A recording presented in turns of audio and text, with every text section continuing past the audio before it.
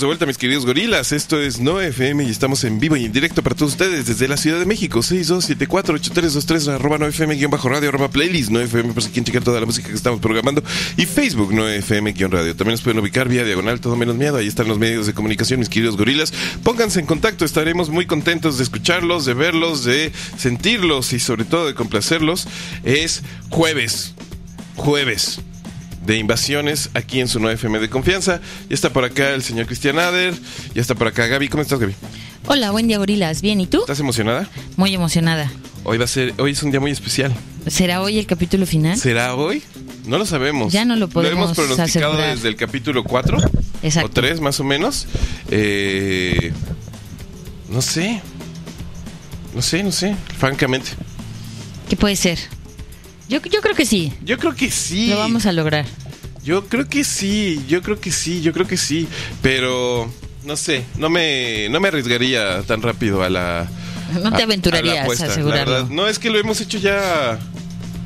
Esta es la cuarta vez que yo asumo que estamos a punto de terminar, más o menos. No, bueno, pero ahora hay, hay posibilidades reales, pues. Sí. Por cierto, mis queridos gorilas, con muchísimo dolor y tristeza les pedimos una disculpa por la ausencia de programa el día de ayer. Tuvimos problemas técnicos fuera de nuestras capacidades de solución. Tenemos nuevas máquinas en cabina. Eh, se parece muchísimo, o no sé si es exactamente el mismo modelo de modem que teníamos hasta hace un par de, de horas. Creo que sí, ¿no? Sí, es igualito al pasado. es ¿no? igualito, sí. Sí, eh, pero bueno, las cosas están solucionadas. Aparentemente tenemos garantizada transmisión firme, eh, intensa y bien, bien, bien proporcionada durante un par de años. Entonces todos tranquilos. Tuvimos ayer un día muy complicado, pero lo logramos resolver incluso antes de lo pronosticado. De hecho, estábamos a punto de avisarle al señor Nader que no íbamos a poder tener invasiones cuando de milagro se pudo resolver. El milagro de invasiones. El milagro. Ay, qué bonito. Salve Putin. Salve el, Putin. El, El milagro, el milagro de Vladimir. el milagro de Vladimir. El pequeño milagro de Vladimir. Exactamente. Y eh, pues también una felicitación, una, un agradecimiento y una eh, felicitación, por un lado, al señor Manuel Gilantón, que estuvo ayer en esta cabina, pues haciendo lo que mejor hace, ¿no? Magia. Magia. Magia. Magia absoluta, es un tipo genial, es un tipo lúcido, es un tipo hermoso, de un corazón extrañamente grande.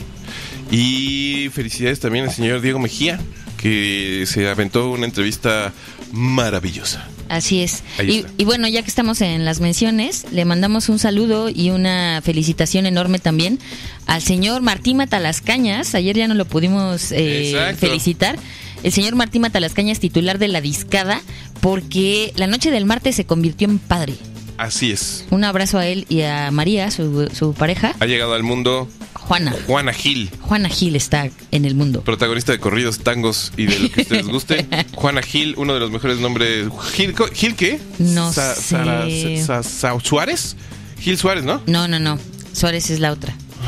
¿La otra quién? La otra niña. Ah, la, otra cuidado, be- la Gaby. otra bebé. La otra bebé de 9FM.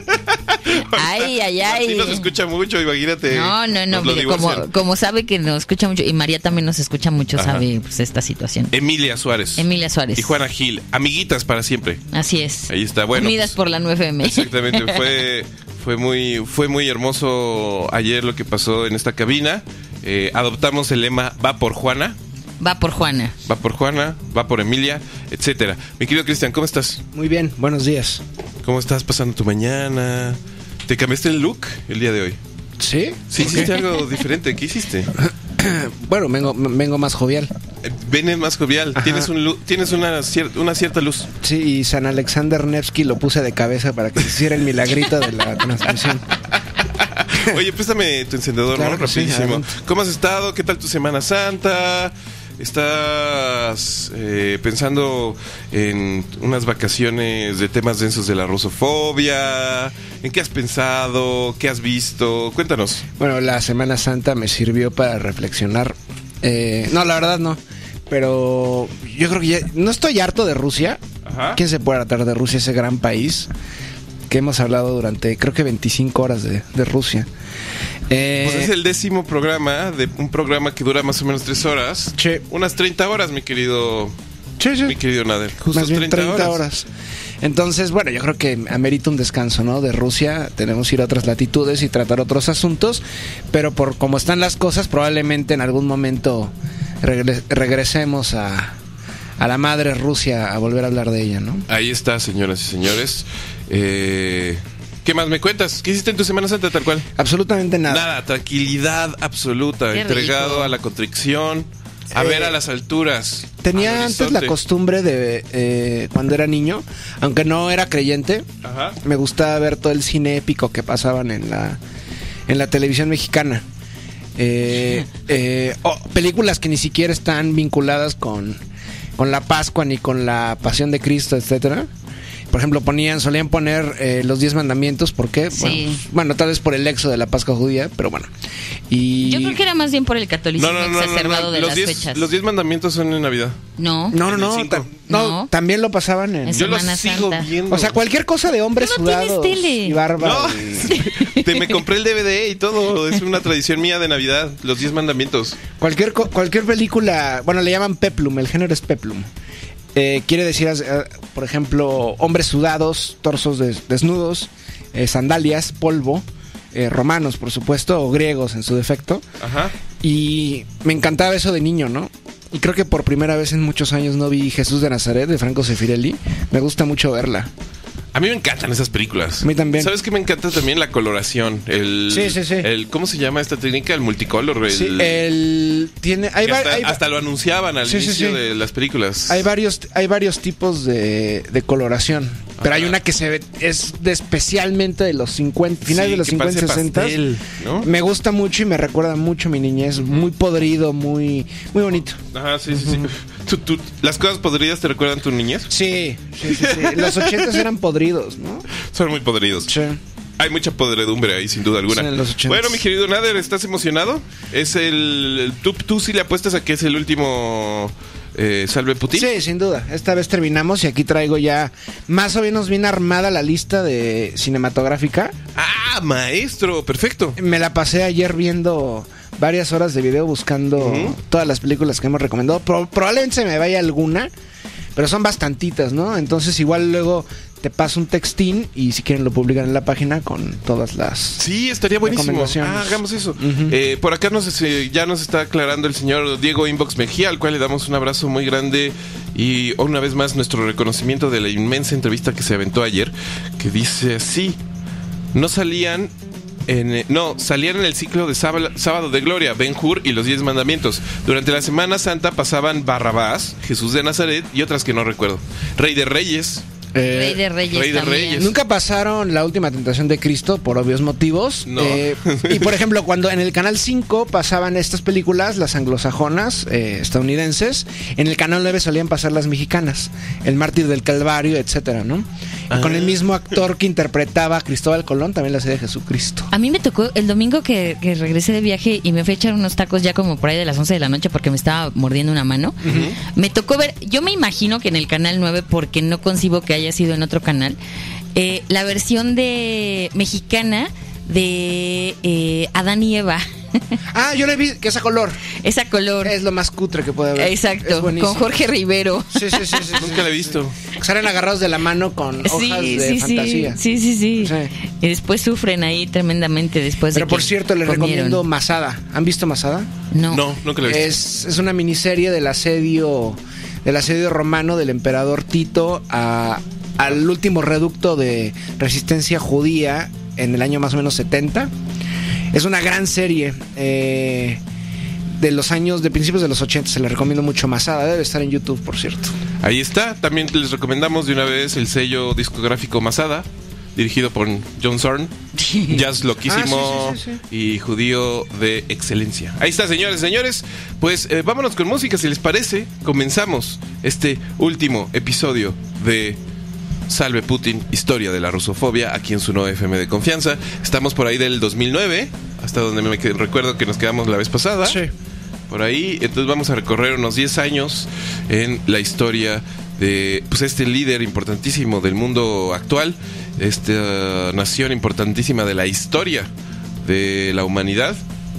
Y pues llegaremos, conclusiones, etcétera, por qué estamos hablando tanto de ellos últimamente Y bueno, básicamente todo lo que hemos estado girando en estas emisiones. Historia de la rusofobia aquí en su 9FM de confianza. Todo menos miedo.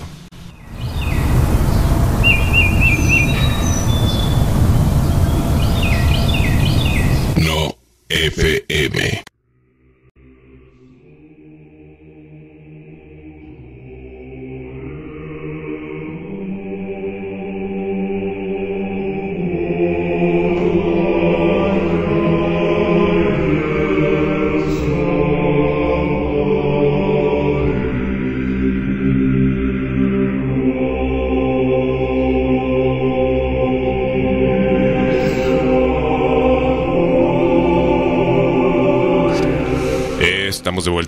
Gorilas. Esto es 9FM y estamos en vivo y en directo para todos ustedes desde la Ciudad de México. Salve Putin, historia de la rusofobia, capítulo 10. Comenzamos con esta hermosa, eh, o hermoso ejemplo del bajo profundo, famosísimo de la Iglesia Ortodoxa Rusa. Porque pues vamos a estar haciendo un recorrido eh, honrando las 30 horas que hemos invertido en esta carrera demencial con gorritos de nutria, eh, olores extraños, caviar en la mano y en, el otro, y en la otra un fusil. Rumbo acá, 2009, más o menos. Estamos con el señor Cristian Nader, maestro Nader. Eh, ¿En dónde nos quedamos más o menos? Ya pasaron dos semanas, igual valdría la pena si la gente no, no lo revisó en YouTube. Que por cierto, está siendo muy celebrada esta serie en tu, ca- en tu canal de YouTube. Sí. ¿Sí? No, no te has dado cuenta. Sí, sí, Nader. Después de que edito el video, me acabo tan fastidiado que ya no vuelvo a revisar ¿Sí? el video. Sí. ¿Aplicas la Maggie, Maggie Smith, que no ve nunca sus películas? Who's Maggie Smith? Ok, vamos a seguir. eh, esta actriz inglesa muy arrugada desde muy joven, que es la abuelita de todos los ingleses. La maestra de Harry Potter. Ah, ya salía. La viuda condesa de Downton Abbey. Downton Abbey. eh, conozco una parecida que se llama Judy Dench. pero- No, no, no, muy nada amiga que de. Judy Dench. Pero no, nada que ver físicamente. El club de octogenarias británicas. Sí. de- Ajá. No, pero me acordé de algo. Estábamos hablando de De cintas, algo épi- verdaderamente interesante. de cintas épicas. Ajá. Eh, y hablando de eh, el año pasado un ru- bueno antepasado un ruso bueno un, ru- un ruso kazajo llamado Timur Bekbatonov Ajá.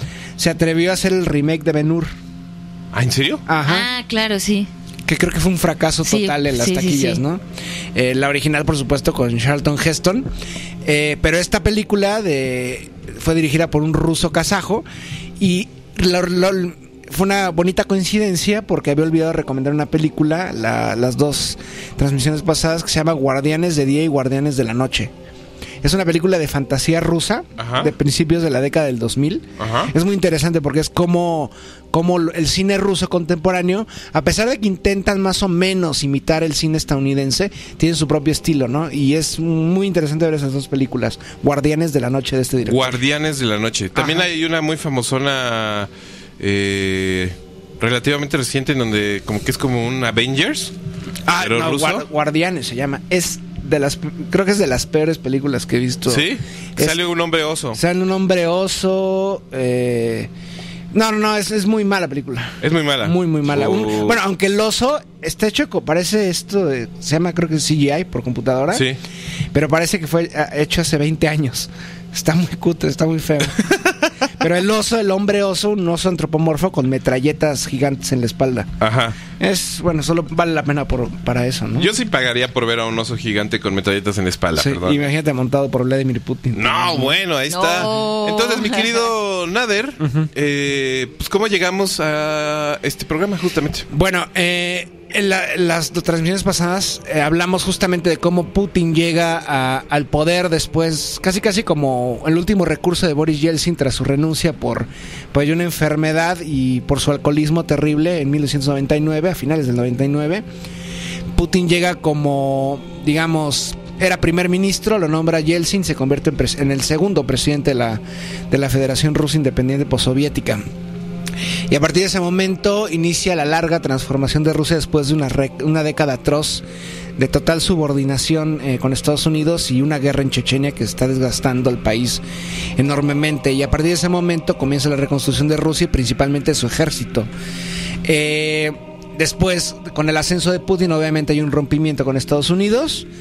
Y bueno, comienza una guerra fría, aunque todavía no declarada, pero en los últimos tiempos ya hay infinidad de conflictos de esas llamadas revueltas o primaveras, eh, digamos, revueltas de colores en Georgia, en Ucrania, en Asia Central, intentan otras en Rusia. Pero hasta este momento, eh, Vladimir Vladimirovich y su gobierno se mantienen invictos, no logran eh, destruir todos los intentos de desestabilización. Sin embargo, hay muchos momentos graves en el periodo de Putin. Eh, hablamos del cuando se hunde el submarino el Kursk, Ajá. eh, que mueren muchas personas. Hablamos de atentados terroristas como en un teatro moscovita, eh, la masacre de Beslan a través de terroristas chechenos en, o sea, el norte, que fue probablemente el acto más terrible eh, del periodo de Putin. Y y otros dos grandes conflictos, ¿no? Uno en Crimea, nos adelantamos de hecho la, la semana pasada para hablar de Crimea ya que estábamos ahí, en Ucrania. Eh, Crimea es una península en el Mar Negro que pertenece a Ucrania y en este momento pertenece a la Federación Rusa. eh, y sin embargo, eh, ya, ya en, en en Ucrania hay una zona que se llama Donbass, en Donetsk y Lugansk, que es de mayoría rusa, étnicos y rusoparlantes y quieren independizarse de Ucrania, porque en Ucrania gobierna una junta pues, neonazi a, eh, a través de Petro Poroshenko y dos partidos de extrema, extrema derecha que se llaman Pravi Sector y Svoboda. Entonces, bueno, la OTAN en este momento está con todo contra Rusia, ya desde mediados de la década pasada. Y ocurre algo importante. Y ya entramos de lleno en lo que va a ser, digamos, El programa de hoy. el programa de hoy, ¿no? Eh, históricamente Rusia ha sido un aliado de la República Árabe Siria desde su independencia. Eh, después de un presidente entre el segundo que se llama Hafez al-Assad.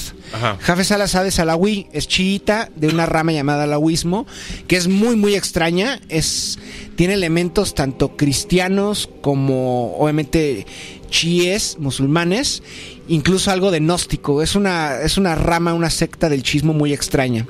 Y es la que gobierna históricamente Siria desde hace 50 años, primero con Hafez al-Assad y en este momento con Bashar al-Assad su hijo. Eh, ocurre, es el, es el partido, es el socialismo árabe, a fin de cuentas, ¿no? Y durante la época de la Unión Soviética man- fraguan una, además de una bonita amistad, hay una, pueden buscar las fotos de este Hafez al-Assad con, con Brezhnev, porque Hafez al-Assad fue entrenado, de hecho, en, en Moscú, asistencia militar, etcétera. Entonces, desde ese momento, Rusia es su principal aliado en Medio Oriente. Eh, de hecho, tienen la única base eh, en, en- en esa zona, Rusia, es en el puerto de Tartus, en el Mediterráneo. Y bueno, siempre ha sido Rusia muy cercano a, al gobierno sirio. Entonces, ¿qué ocurre? Desde finales de la década pasada, eh, más o menos a 2008-2009, comienzan a haber en, el resto del Medio Oriente, en el Magreb y en el Masrek, eh, levantamientos populares, las llamadas primaveras árabes, que es como la versión eh, regional de las llamadas revueltas de colores, revoluciones de colores, ¿no? Que en sí germinan a través de asistencia de organismos de inteligencia estadounidenses y occidentales. Y bueno, muchos prosperaron. eh, Por ejemplo, en, en Egipto derro- derrocan al gobierno de Hosni Mubarak, que había sido un personaje muy cercano a Estados Unidos. Es, es el que sucede a, a Anwar al-Sadat. Eh, pero poco a poco ya se había eternizado en el poder y había sido molesto para Estados Unidos, ¿no? Entonces deciden retirarlo y organizan las famosas protestas en Egipto, ¿no? Y en Siria ocurre algo parecido, comienzan a haber protestas, pero no son como no atraen mucha gente, porque relativamente el Estado sirio es un estado muy sólido y que tiene- cuenta con el apoyo popular de todo el pueblo. Eh, pero ¿qué ocurre? Empiezan a entrar. eh, Siria, recordemos que tiene fronteras con Turquía, con Irak, que en ese momento está totalmente devastado. Recordemos que en el 2013 es invadido por Estados Unidos, la segunda vez en 13 años. Y empiezan a hacer un proyecto llamado el Estado Islámico, que ya habían puesto en práctica en, en- en Libia. Recordemos que eh, Muammar Gaddafi es, es derrocado por la OTAN y a través de unos mercenarios que nadie sabe de dónde aparecen, pero de- lo matan en... Vaya, conocen la historia, ¿no? De Muammar Gaddafi. Libia, por cierto, el país más avanzado de África, con un, crecimiento económico exponencial, un nivel de vida envidiable para todos eh, los países africanos, que no requerían visa los africanos ni, pasaporte para entrar, podías entrar caminando a Libia y salir caminando de ahí. Y bueno, es una, un, un enemigo ancestral ya de Estados Unidos y lo acaban matando, ¿no? Pero recordemos, se vengó Gaddafi. Eh, recordemos que en los últimos días salió la nota de que él patrocinó la campaña de Sarkozy y lo acaban de detener a Sarkozy por. Ah, por sí, fondos. claro, claro, claro. la claro. venganza de Gaddafi. La venganza de Gaddafi. Entonces, bueno, Un empieza. personaje extraño, ¿no? Sí, ah, yo lo admiro Particular. mucho. Yo admiro mucho a, Maga- a- Fíjate Gaddafi. que tiene sentido que diga gente de otras generaciones lo admiraban mucho. Eh, tú siendo una pues, alteración en la línea temporal de, de- del espacio-tiempo, pues tiene sentido. Eh, por ejemplo, la generación de mi padre tenía mucha admiración por Gaddafi. Sí. Eh, el libro verde de Gaddafi era una pues constante eh, pieza de, de referencias y demás y sobre todo su revolución La llamagrilla. Ajá, exactamente. Y esa- eh, los diferentes sistemas sociales que había impuesto en Libia y justamente el sistema de, ¿cómo se llama? De plenitud, de satisfacción. eh, Sí, como un estado de Bienestar. bienestar. el estado de bienestar eh, que había impulsado en Libia era pues tema de conversaciones constantes, por lo menos para las generaciones de, de mis papás y posteriores. Y evidentemente tú solito en esta generación, como, como debes Como- estar como acostumbrado. viajero en el tiempo, ¿no? Sí, como debes estar acostumbrado. No, Crononau- crononauta. Exactamente. Entonces, bueno, este modelo de destrucción de estados, eh, ya se, bueno, de hecho, cuando entra Obama, eh, se declara, ¿no? Hay una conversación, un, un alto mando militar estadounidense que dice que en menos de, de ocho años van a derribar siete u ocho países, ¿no? Entonces el que seguía era Siria. Pero Siria no prosperaron estas, estas, estas revueltas. Entonces, ¿qué ocurre? Por supuesto, la, la, la guerra en Siria, la invasión en Siria, porque por más de que escuchen que es guerra civil, esto no es una guerra civil. Ajá. O sea, realmente esto es una invasión de más o menos... Se calcula que entre 80 mil y 120 mil milicianos de distintos, de más o menos 100 países. De hecho, hay un grave problema para Rusia porque de estos cientos de miles de milicianos, se calcula que entre el 8 y el 15% son rusos. O sea, van a pelear rusos a, a Siria, entre ellos chechenos, dagestanos, ingushetios, etcétera. Muchos veteranos de las guerras de Chechenia. Entonces, ¿qué ocurre? Además de las causas políticas, hay un proyecto, un, gas- un gasoductos. Digamos, está esta trama de gasoductistán o leoductistán, ¿no? En donde está Bahrein y Qatar, en esa zona, en el Golfo Pérsico, está el yacimiento de gas natural más grande del mundo. Y es un yacimiento compartido entre Qatar e Irán. ¿Qué año estamos ahorita, más o menos, mi querido? Ahorita estamos a finales de la década pasada, en el 2008, 2009, 2010. ¿Pensamos 2010? Sí. Para que la gente se ubique. Sí, ubíquense así. 2010. Entonces, en este gran yacimiento gasífero, que es el más grande del mundo, una parte está en, agua terri- en aguas territoriales tanto iraníes como catarís. Irán del lado este, en la ribera este del, del Golfo Pérsico y Qatar en la ribera oeste. Ujú. Qatar, recordemos que es un pequeñísimo país que realmente no produce absolutamente nada más que gas y petróleo, no tienen otra cosa y es famoso en estos tiempos por ser sede de Al Jazeera eh, una televisora muy importante, ¿no? El punto es que hay dos proyectos. Un proyecto es patrocinado en parte por Rusia. Era desde Irán iba a salir un gasoducto que iba a atravesar, eh, iba a salir obviamente de este yacimiento, iba a pasar por Irak, iba a pasar por Siria, iba a llegar probablemente a Turquía, dependiendo de cómo lograran negociar con el gobierno turco, y de ahí para toda Europa. El otro proyecto era catarí. Iba a pasar por Qatar, se iba a adentrar en una parte en Arabia Saudí, iba a pasar por Jordania, pero estaba el impedimento de que Siria es un estado socialista y Qatar es un, un emirato. ¿Sabes Un- también quién hace ese, ese tipo de ductos? ¿Quién es? Un festival de metal en Alemania. Que, en donde se consume el festival más importante de metal del mundo se realiza en un pueblito en Alemania es como un Woodstock pero para gente muy violenta Ah, metal, yo pensé que era como un- la metalurgia. No. no Perdone, perdón.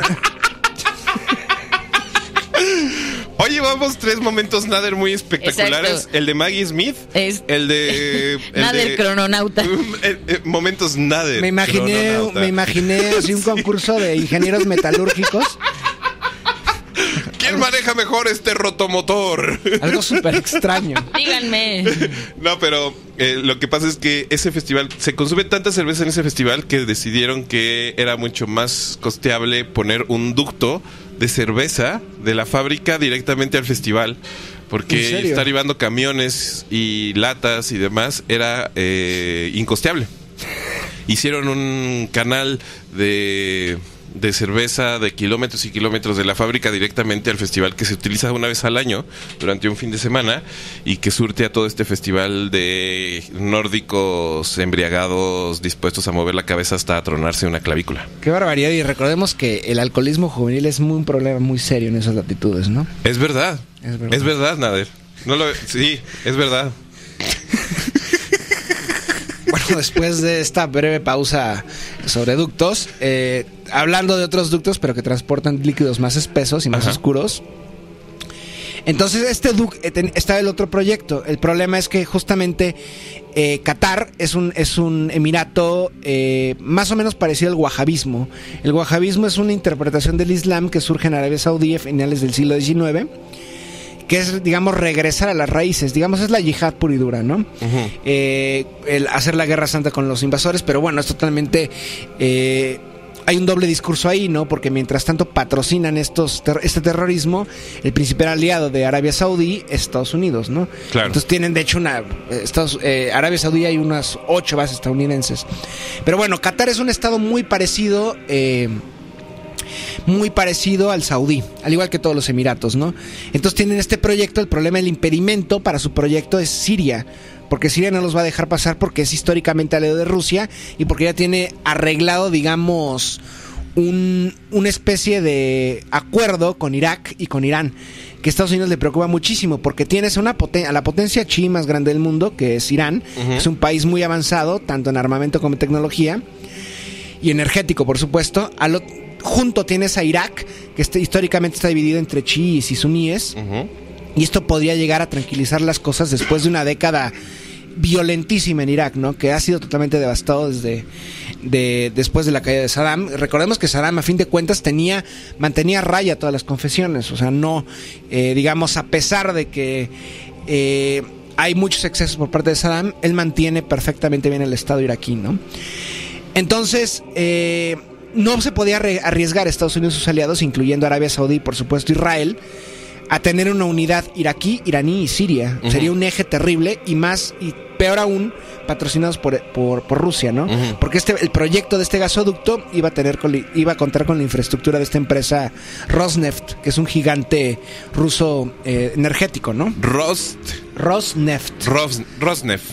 Ok. Entonces, bueno, ¿qué ocurre? Eh, tan pronto se dan cuenta de que no van a poder convencer, entre comillas, al, al- al gobierno sirio, comienzan a surgir estas revueltas, empiezan a ser más generalizadas. En parte porque todos los exiliados sirios que viven, eh, por lo menos en suelo británico, empiezan a mandar a sus familiares, eh, digamos, armas. Entonces, a través de Turquía van a empezar a entrar militantes y a través de Irak también. ¿Por qué? Porque no hay orden en Irak. Está totalmente destruida la frontera, ¿no? O sea, a partir más o menos de entre 2000 2010 y 2011 empiezan a entrar mercenarios. Al mismo tiempo, empiezan a ser aerotransportados desde Asia Central otros tantos. Ok. Recordemos que Wow, Turquía... estás, estás escribiendo una, el inicio de una tormenta perfecta, ¿no? Sí, sí, sí. Recordemos que Turquía no es un país árabe, es un país musulmán, suní, ortodoxo, pero no es un país árabe, son turcos, es otra etnia totalmente distinta, otro grupo de lenguas, ¿no? Y están muy vinculados a grupos en Asia Central, de ahí vienen los turcos de Asia Central. Claro. Entre ellos hay, hay, hay unos llamados turcomanos. Los turcomanos se encuentran en parte en una zona llamada Xianqian, que es en China. Entonces los empiezan a traer tanto de esa zona como de, del Turquestán, como de Asia Central y Afganistán, y los llevan directamente a aeropuertos en, en, en Azerbaiyán o en Turquía, y de ahí los bajan, los meten en camiones por la frontera eh, entre Turquía y Siria, ¿no? Ahí está. Y al mismo tiempo, por Irak empiezan a entrar, eh, bueno, no militares, milicianos provenientes de, eh, de Arabia Saudí y de África. O sea, empe- empezamos a tener mercenarios de todas partes del mundo en Siria. Las fronteras que comparte, al norte tiene Turquía, al sur, al suroeste tiene Líbano. Eh, más al sur tiene eh, los altos del Golán, que están ocupados por Israel desde hace varios años. Eh, al este tiene Irak. Y así están las cosas. Y, ah, y al sureste tiene la frontera con Jordania. Entonces, y por Jordania también empiezan a entrar mis- milicianos, ¿no? Entonces, de pronto se dan cuenta de la noche a la mañana, están, hay batallones de, de terroristas por todas partes y comienzan a hacer los, digamos, las banderas falsas, etcétera, ¿no? A ver, a ver. Estuvo. Estuvo muy lleno de etnias y de Ajá. referencias este bloque. Entonces. eh, Saquen un mapa. Deline... no, Nader, calma. Delineemos. eh, estamos hablando de rusofobia. Sí. Pero de repente tuvimos un bloque largo de Siria. Esto es porque Rusia tiene una participación en este conflicto importantísima. Activa. O sea, Rusia en los últimos 35, 40 años Ujú. solo ha intervenido en dos conflictos en el extranjero. Eh, de lleno, o sea, ejército regular. Uno es Afganistán, que recordemos cómo acabó Afganistán, fue no una derrota, Rambo las acabó las cosas, eh, Al Qaeda glorificada, Ajá. etcétera. Montados a caballos Ajá. hermosos y con los ojos bien delineados. De hecho, esto se contempla como un, la- un- el retorno de Al Qaeda en contra de Rusia, pero ya no se va a llamar Al Qaeda, se va a llamar Daesh. Ajá. Ok. Rusia. Y ibas a decir otra cosa. Eh, y bueno, obviamente quieren que sea una trampa mortal para Rusia, como fue Afganistán, ¿Quién quiere? Estados Unidos. Ah, ok, va. Porque saben que va, va a tener que intervenir Rusia a como de lugar. ¿Y por qué quiere eso Estados Unidos? ¿Por qué no dejan en paz a Rusia? Porque no nada más es, es Estados Unidos, son Arabia, hay cuatro intereses muy claros. A ver, ¿cuántos- cuatro Arabia Saudí. muy- Ajá. Arabia Saudí por, digamos, porque Siria, así como, como son Oaxaca, perdón, son alawíes, Ajá. alawitas chiíes, están muy vinculados el gobierno a Irán. Ajá. Ok. Es el motivo, digamos, de, de Arabia Saudí. Arabia Saudita. Arabia Saudí, Ajá. además de que tiene el, el problema energético. Irán es su máximo rival energético de la zona. Claro. Turquía, Turquía. Por, por la competencia del gasoducto y porque en Turquía no puede esperar tener un rival extremadamente fuerte y sólido al sur. Ok. ¿Ok? Israel, por obvios motivos, no puede tener una Siria fuerte teniendo ah, una, una quinta parte de Siria ocupada, como es los Altos del Golán. Ah, a ver, a ver, a ver. ¿Una quinta parte de Siria está ocupada por Israel? Sí. Los altos. Los Altos del Golán. Ok, que es va, Arabia muy- Saudita. Eh, Turquía. Israel. Israel. Cuarto, Qatar, Qatar. en parte por el proyecto que tiene eh, eh, del otro gas- eh, gasoducto. Ajá. Y Estados Unidos, porque vaya, comanda todos estos países, ¿no? Ah, ok, ya se nos van aclarando mucho las ideas. Bueno, además de Gran Bretaña y Francia. Ahí está. Entonces, eh, este conflicto empieza a... Bueno, no podemos decir que empieza a eh, florecer en, en 2010 bajo ninguna circunstancia, pero sí podemos decir que se empieza a... ¿Qué? A... Empiezan a protestar en las calles. Mm, Y eh, más o menos en 2012 empiezan a salir acusaciones de que el, el gobierno sirio lanzó un ataque químico, Ujú. ok. del cual no se han encontrado pruebas ni nada. O sea, es totalmente... Y bueno, es que no, no, nos podemos sumergir tanto en Siria, porque es una cantidad de banderas falsas y montajes increíbles. O sea, hay una... Por ejemplo, el caso más emblemático es el de los cascos blancos, eh, White Helmets, que hasta tienen su documental en Netflix, que ganaron un Oscar. Está bonito. Bueno, es totalmente un fraude este grupo. Mm. Este grupo, hay fotos de, por ejemplo, miembros de los cascos blancos. Es un momento horroroso. En una foto están, digamos, posando varios miembros y los mismos miembros en- en- se les capta en otro momento eh, deteniendo a un niño palestino, un chií, y decapitándolo a un Mm. niño. Los mismos miembros de los cascos blancos. Entonces estamos metiéndonos con gente que engaña a todo el mundo. Eh, y esto se vincula mucho a lo que está pasando, con, por ejemplo, con el caso Skripal, ¿no? Ujú. O sea, qui- ¿quién? Nadie se atreve a decir que no, lo- no fue Rusia, pero es evidente que no lo fue. Recordemos que es Kipral este, doble agente que fue envenenado en Reino Unido hace ya un mes, yo creo, junto ¿Ya con su hija. No, No, ¿Todavía no? no, su hija ya está usando redes sociales. no, no, no. Eh, que fue- fueron envenenados ambos, no murieron. Eh, y Reino Unido de inmediato señaló que había sido Rusia porque habían sido envenenados con un agente químico desarrollado en la Unión Soviética. Lo primero que dijo Rusia fue, ajá, y, y se han preguntado de dónde salió ese veneno, ¿no? ¿Quién tenía ese veneno? Eh, porque la- el argumento británico es que Rusia se había comprometido que entre mm, el 97 y 2017 iba a deshacerse de todas sus armas químicas, ¿no? Y otra cosa importante, justo hablando en esa misma línea, sabía el gobierno sirio y sus aliados, entre ellos el gobierno ruso, que iba a ser justamente calumnias y montajes en contra de Siria. Entonces, ¿qué deciden hacer? Todo lo, todas las, digamos, las materias primas que tienen ellos para poder fabricar armas químicas, acuerdan con, lo- con la ONU de destruirlas. Entonces llega un buque, estos, un- una especie de buque que está protegido, las meten ahí y las van a incinerar todas. Entonces, Siria ya no tiene el potencial de hacer esto. Sin embargo, las acusaciones siguen llegando. Obviamente no hay prueba de esto. Hay videos muy cutres. Hay un muy famoso video que salen... eh, act- son actores, se ve, luego se están riendo. Que están maquillados con una especie de crema y salen caminando como zombies. Y dicen que eso tiene un ataque. Sí, sí, sí, que es un ataque químico, pero realmente no pasó nada. Pero la- el, el problema es que el público occidental se lo traga todo. es increíble. Y está todo. estamos ávidos de grandes historias, mi Sí. querido Nader. Así está fundado Occidente. Entonces, estos grupos, eh, el gobierno sirio empieza a resistir. ¿Ok? Pero con el paso de los meses, cada vez están mejor armados porque reciben asistencia de Israel, de Turquía, de Qatar, de Arabia Saudí, de Estados Unidos. Entonces, el gobierno sirio no puede. Con- poco a poco Rusia se va a estar acercando al gobierno sirio y va a estar mandando asesores militares. Recordemos que Siria, perdón, que ¿Por Rusia- qué? ¿Por qué Rusia quiere ser parte del conflicto? O, o más bien a Rusia le toca estar en medio. O, o cuál es el asunto? ¿Por qué, ¿Por qué dedicarle tanto tiempo a este conflicto que tal vez pareciera que debiera tener su propia serie? ¿Por qué estamos hablando tanto de este conflicto? Vamos a seguir el mapa. Siria? Tenemos Siria. Ujú. Junto está Irak. Junto está Irán. Ajá. Arriba de Irán está Azerbaiyán. Ajá. Y junto está Rusia. Ajá.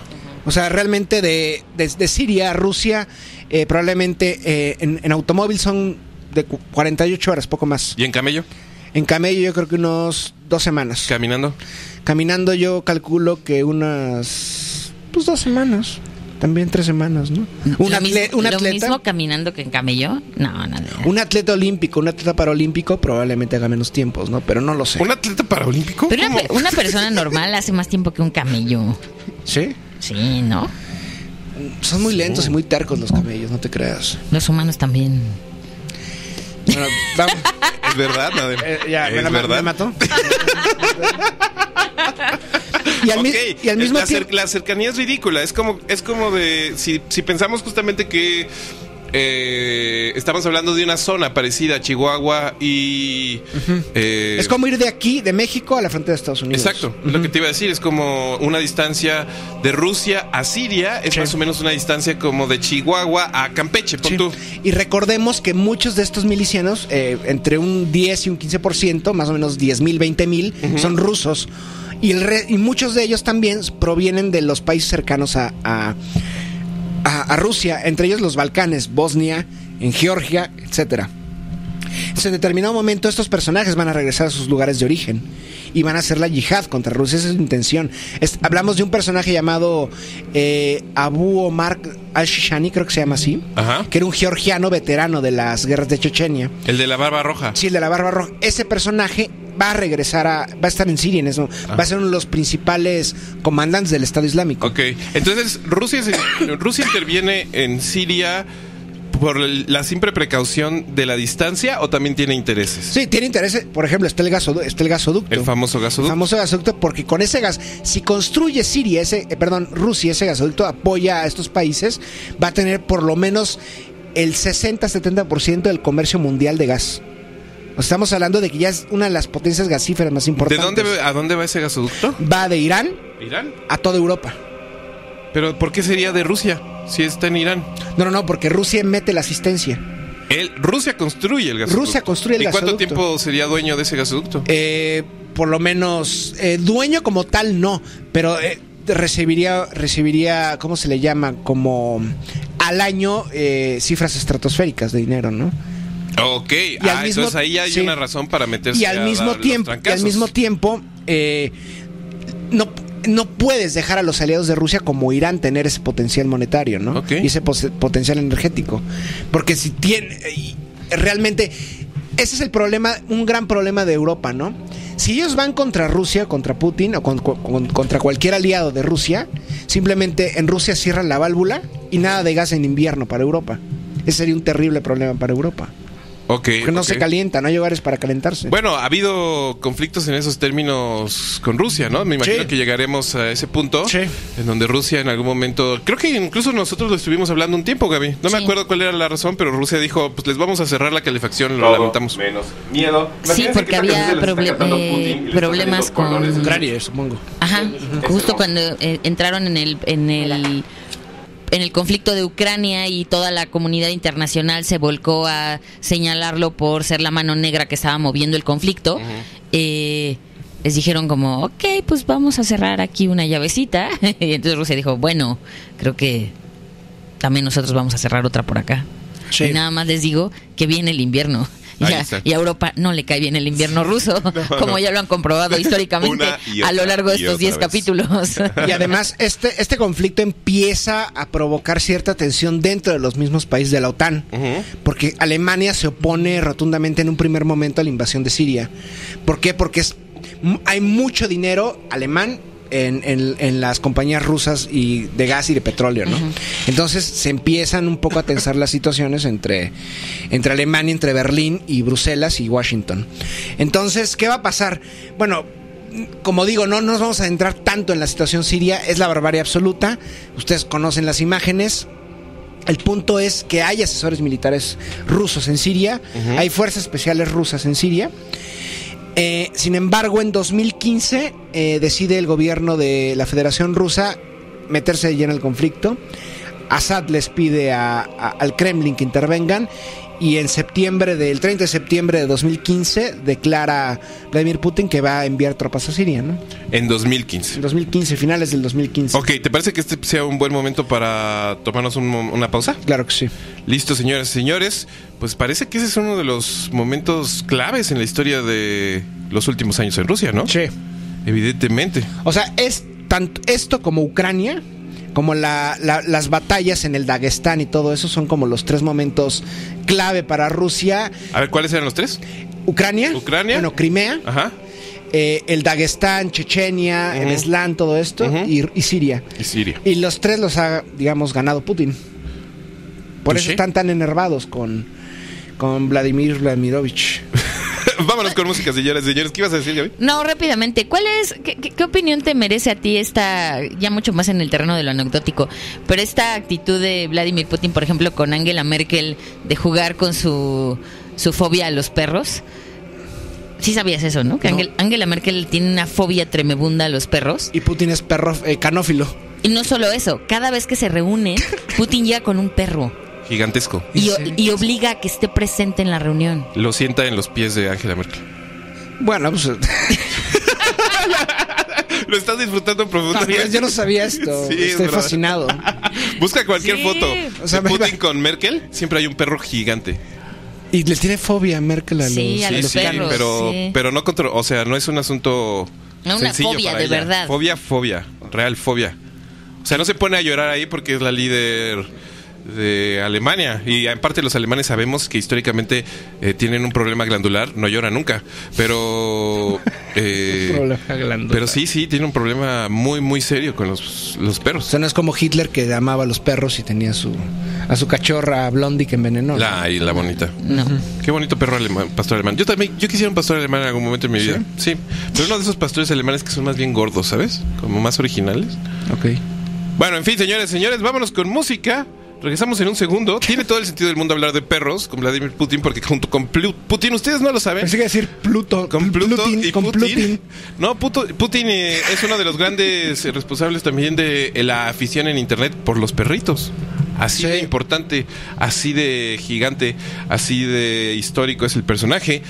Vámonos con éxitos de 2010, que estamos por ahí en estos momentos, en este Salve Putin, historia de la rusofobia. Y lo que sigue no necesita introducción. Abran su corazón, porque ustedes eh, espérense, usted traba un poquito el disco duro. Eh, comuníquense 627-48323 arroba 9FM bajo radio, arroba playlist 9FM por si quieren checar toda la música que estamos programando. Y ahora sí,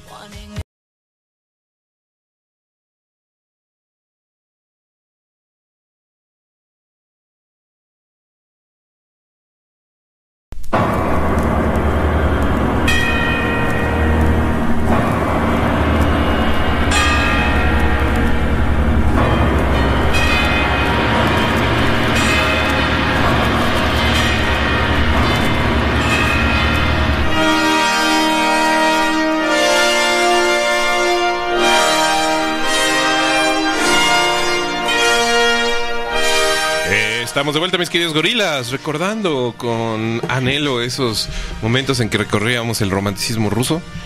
Eh, pues ahí los siglos de Levita, los siglos de Barbas Largas, de Pedro el Grande, ya sin barbas largas, eh, de Catalina la Grande, de Alejandro, en fin, grandes momentos. De Napoleón siendo derrotado.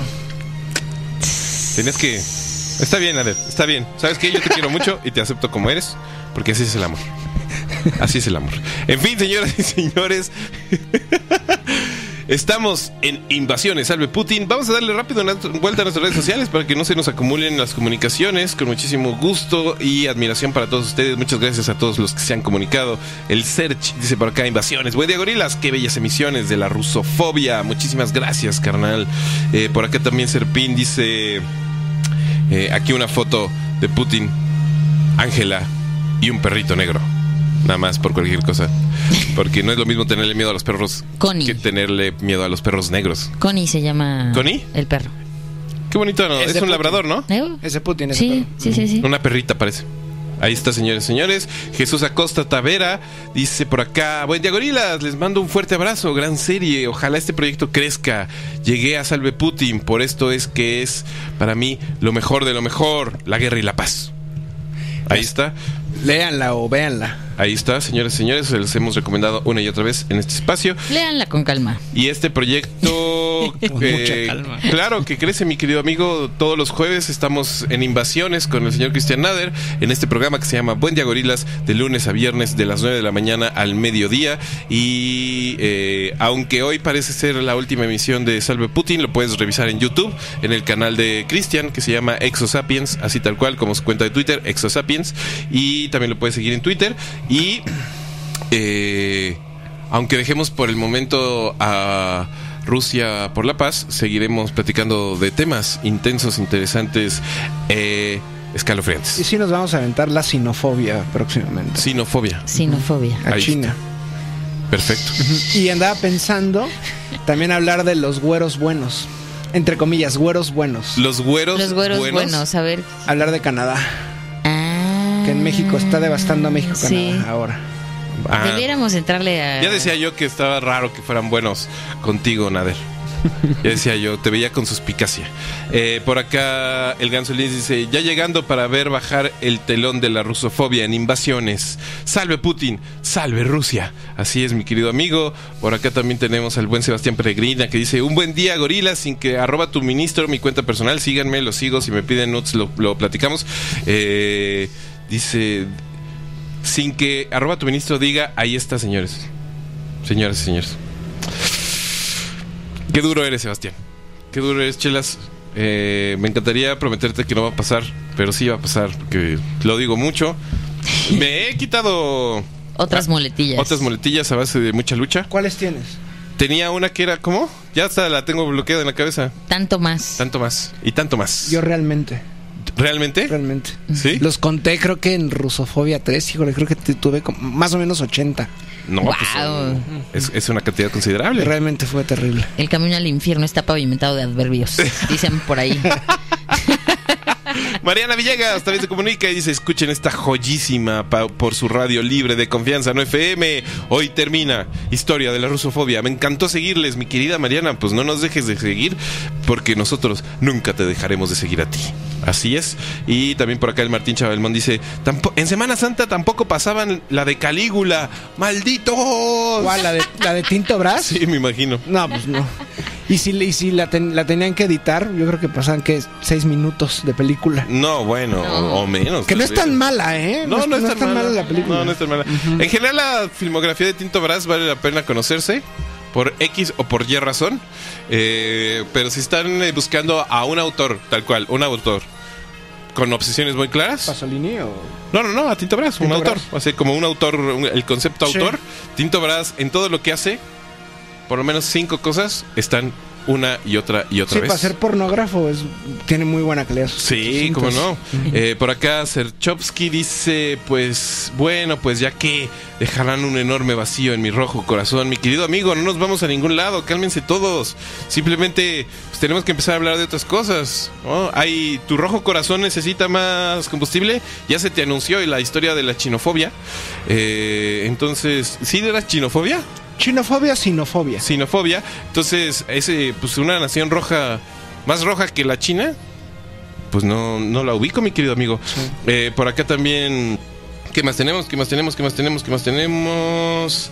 Eh, mm, me parece que ya, a ver, a ver, a ver, nuestro queridísimo amigo y bien es, eh, y siempre presente Error Name dice, vámonos al último invasiones sobre rusofobia con los compas de 9FM.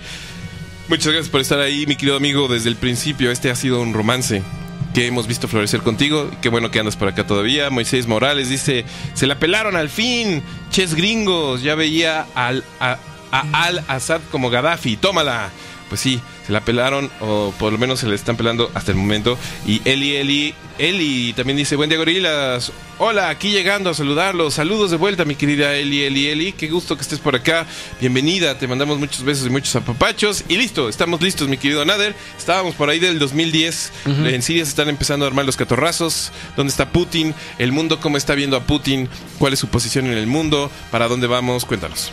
Ya, ya a partir de a finales de la década pasada ya eh, comienza el bombardeo mediático propagandístico contra Putin, ¿no? Qué loco en este programa llegar a la, la oración la década pasada, ¿no? En esta serie. Comenzamos en el milenio antepasado y Ajá. ya estamos en la década pasada. Ahí está. Y sí, o sea, ustedes lo pueden ver, o sea, en todas las portadas habidas y por haber Putin con los ojos rojos, Putin con un tanque saliendo por la boca, eh, llamas atrás de Putin, en fin, eh, es una galería de los horrores putinesca. En todas las revistas habidas y por haber, las más emblemáticas, ¿no? Time, Newsweek, Foreign Affairs, Affairs eh, Forbes, todas las revistas occidentales y los diarios occidentales, ¿no? Pero hago dos correcciones antes porque no quiero eh, quedar mal con ustedes, amable público. Eh, no, es, a- no es Abu, Abu Omar al-Baghdad al-Shishani, es Abu Bakr al-Shishani. Era el líder georgiano que salió de, vaya, de Georgia para organizar la yihad en contra de Rusia. Y por cierto, cayó en 2015, lo, lo Rusia lo, lo destroza en un ataque de helicópteros y adiós al Shishani, ¿no? Que es uno también de los cabecillas que probablemente organizó la masacre de Beslan, ¿no? Entonces ya tenían cuentas pendientes con la Federación Rusa. Y la otra Y es... con Dios. Y con Dios. Como ¿Qué? diría Putin, mi querido amigo. eh, aquí lo tengo, dame un segundo. Perdonar a los terroristas es cosa de Dios. Pero mandárselos a él es cosa mía. Maestro. Sí, y eh, como dijimos, en 2015 interviene interviene ya Rusia de lleno en el conflicto a finales de 2015. Y el 24 de noviembre de ese mismo año 2015, Turquía derriba un jet ruso. ¿En qué año? En, en 2015, en 2015. 24 de noviembre, eh, con ah, ellos, di- eh, Rus- eh, Turquía afirma, el gobierno de Ankara, que que el, el avión ruso invadió espacio aéreo, espacio aéreo turco y esto nunca se ha comprobado, nunca ha soltado. No, ya no se sabe qué pasó en Turquía. Recordemos que Turquía eh, es gobernada por Recep Tayyip Erdogan. Erdogan es un, es un caso aparte. Este, este sujeto sí está para el manicomio. Erdo- Erdogan. Erdogan, sí, él quiere ya lo ha dicho públicamente y, y hay cuando hay digamos eventos eventos diplomáticos importantes en la en la residencia presidencial en Ankara hay unas grandes escaleras Ajá. entonces al lado de las escaleras están personajes eh, probablemente del ejército turco disfrazados como guerreros otomanos de todas las épocas y va bajando Erdogan y todos están disfrazados de, de guerreros otomanos Qué hermoso. ¿Por qué va a ser eso una locura? él quiere, él quiere reconstruir el imperio, el imperio otomano. Y recordemos que también es, un, es el hermano Erdogan, es parte de la hermandad musulmana. Y bueno, Bueno, eh, pero es que ponte en sus zapatos. o más bien, ponte en su pijama. Te despiertas un día, mi querido Nader. Te tomas tu tecito. Saludas a tu gente. Abres la ventana y está Sofía ahí enfrente de ti. O sea, estás, estás parado en Constantinopla. Él fue alcalde de, fue alcalde de Estambul. Ajá. Fue alcalde de Estambul, Erdogan. Y entonces, ¿qué? Pues, ¿qué, qué vas a estar pensando? Pues evidentemente empiezas a pensar en laureles, empiezas a pensar en coronas, empiezas a pensar en grandes murallas y conquistas. Pues cómo no, una cadena que atraviese el mar para evitar que lleguen barcos a tus costas. Y recordemos Todo que... esto que estamos diciendo es verdad. Sí. Recordemos que eh, estar justo estar en el Bósforo es un espectáculo. Es un espectáculo aparte, es otra cosa aparte. Maestro. Eh, eh, recordemos que eh, el hermano Erdogan es parte de la hermandad musulmana y está vinculada, por supuesto, a Al Qaeda y al Nurra. La versión de Al, Qaeda, de Al Qaeda en Siria se llama Al Frente al Nurra. Hay, digamos, como tres grupos terroristas importantes. Uno es al Nurra, vinculado en parte a Qatar y en parte a Turquía. Está Daesh, el Estado Islámico, vinculado a Arabia Saudí. Y está el Ejército Libre Sirio, que ni es sirio ni es libre. Que ellos son, digamos, los que llama Washington lo- los, los rebeldes moderados, que son terroristas moderados. Realmente no hay, se intercambian los miembros, no hay ninguna diferencia como abismal entre estos grupos, aunque sí mediática, porque Occidente los presenta de una manera distinta, pero en esencia son lo mismo, ¿no? Entonces, cuando entra Rusia al conflicto, derriba este avión Turquía y ahí se empiezan a complicar las cosas, ¿no? Porque después de esto, como que tu, Turquía se retrae. Y no sabemos qué pasó, no sabemos qué le dijo, el, no, no se ha revelado esto, no sabemos qué le dijo el Kremlin a, a, a, eh, a Erdogan, pero probablemente lo amenazó de, tú, has- tú debes hacer esto y Te cae encima. te cae encima. El problema de amenazar a Turquía es que Turquía forma parte de la OTAN. Entonces, si un, un- Rusia o cualquier otro país ataca, ataca a un miembro de la OTAN, es como atacar a toda la OTAN, ¿no? Entonces tiene que también llevársela muy con cuidado eh, el, el gobierno ruso, ¿no? Porque como dice bien Putin, estamos dispuestos a dialogar con la OTAN, aunque sea un monólogo. Sí. Maestro.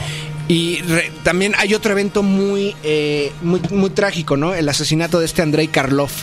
¿Quién es Andrei Karlov? es el embajador de? Rusia en, en Turquía, en, en Ankara. Ah, el que se, está en vivo. Sí, está sí, sí. En una galería. Sí, o sea, estamos viendo que esta nueva Guerra Fría difiere mucho de la anterior. ¿Por qué? Que realmente Gran Bretaña sacara a la luz este escándalo de, envenenamiento de, de Skripal y su hija no se había visto antes. Y la segunda es que asesinen en vivo a un, embajador. Que ya habíamos comentado que había pasado un caso similar, ¿no? Pero no en un momento tan tenso en Turquía, en un conflicto entre Rusia y, y Turquía, ¿no? Entonces lo asesinan. eh, Probablemente, no sé, hay dos hipótesis. Una es que haya sido un grupo eh, cercano a Erdogan, de los llamados Lobos Grises. Los Lobos Grises es una, es una organización, digamos, paramilitar fascista, digamos, justo neotomana, pero no, no normalmente tiene un tinte religioso este grupo, por lo que mucha gente lo descartó. Probablemente haya sido un grupo, una- un ataque interno por parte de Erdogan, una bandera falsa. Y otra es que haya sido el competidor principal de Erdogan, que está en este momento en Estados Unidos. Se llama eh, eh, Gulen. Fethullah Gulen. eh, Fethullah Gulen. Gulen, ajá. Eh, tiene, era un aliado en un primer momento con Erdogan, pero cuando era alcalde de Estambul tiene muchos problemas con él, entonces tiene que salir pitando de, de Turquía y los se refugia en Estados Unidos, ¿no? Y es como un clérigo que ha tenido, por ejemplo, vínculos con Israel. Es un clérigo, no es un clérigo, perdón, es un personaje muy controvertido. Entonces, al parecer, esto hace. eh, parece ser que. A- recuerden que hace- arman un golpe de Estado fallido contra Erdogan. En un primer momento yo pensé que había sido un autogolpe. Que había sido todo planeado por una telenovela para ver que, ya ven, me quieren hacer esto y yo soy el héroe, ¿no? Sí. Pero probablemente se haya sido orquestado por Estados Unidos. Yo creo que se le salió de control Erdogan. Eh, porque recordemos que al mismo tiempo que está la guerra en Siria, empiezan a entrar tanques y cargueros de, de Turquía a suelo sirio para robar petróleo. y, y los principales vinculados son la familia Erdogan. Está sacando miles de millones de dólares en, en- en petróleo robado. Entonces, al parecer, ya lo quieren quitar de Erdogan, al igual que Qatar. En los últimos meses hubo un problema muy serio entre Qatar y Arabia Saudí, porque hubo un cisma, tenían que sacrificar a alguien, porque las acusaciones de terrorismo llevan a la alza contra Arabia Saudí. Entonces, tenían que señalar a Qatar. Entonces, al mismo tiempo porque co- coqueteaba con Irán, ¿no? Entonces, bueno, eh, Turquía se vuelve, digamos, del lado, del lado ruso, ¿no? Entonces, en este momento, eh, Putin ya empieza a tomar el control total de, de la guerra en Siria, ¿no? Ya no hay, ya no hay una facción que lo pueda, que lo pueda enfrentar y se calcula que más o menos Putin ha, bueno, el gobierno ruso ha acabado con más o menos 70 mil terroristas. Estamos hablando de una, una tercera parte de Daesh. Le quitan el control de ciudades importantes como Alepo, la batalla de Alepo. Es brutal. Es brutal, es brutal. Alepo, que es una de las ciudades que, que durante 5.000 años ha estado, ha estado habitada constantemente, quedó hecha añicos, ¿no? Era patrimonio de la humanidad, ¿no? Y quedó totalmente destruida. Pero bueno, logran liberar a Alepo y en marzo de 2017 por fin logran tomar, a- tomar Palmira, ¿no? Que recordemos en la transmisión pasada pusimos el concierto que organiza la Federación Rusa eh, con la orquesta del Teatro Marinsky en, en Palmira, ofreciendo un concierto para personal ruso y para personal sirio, ¿no?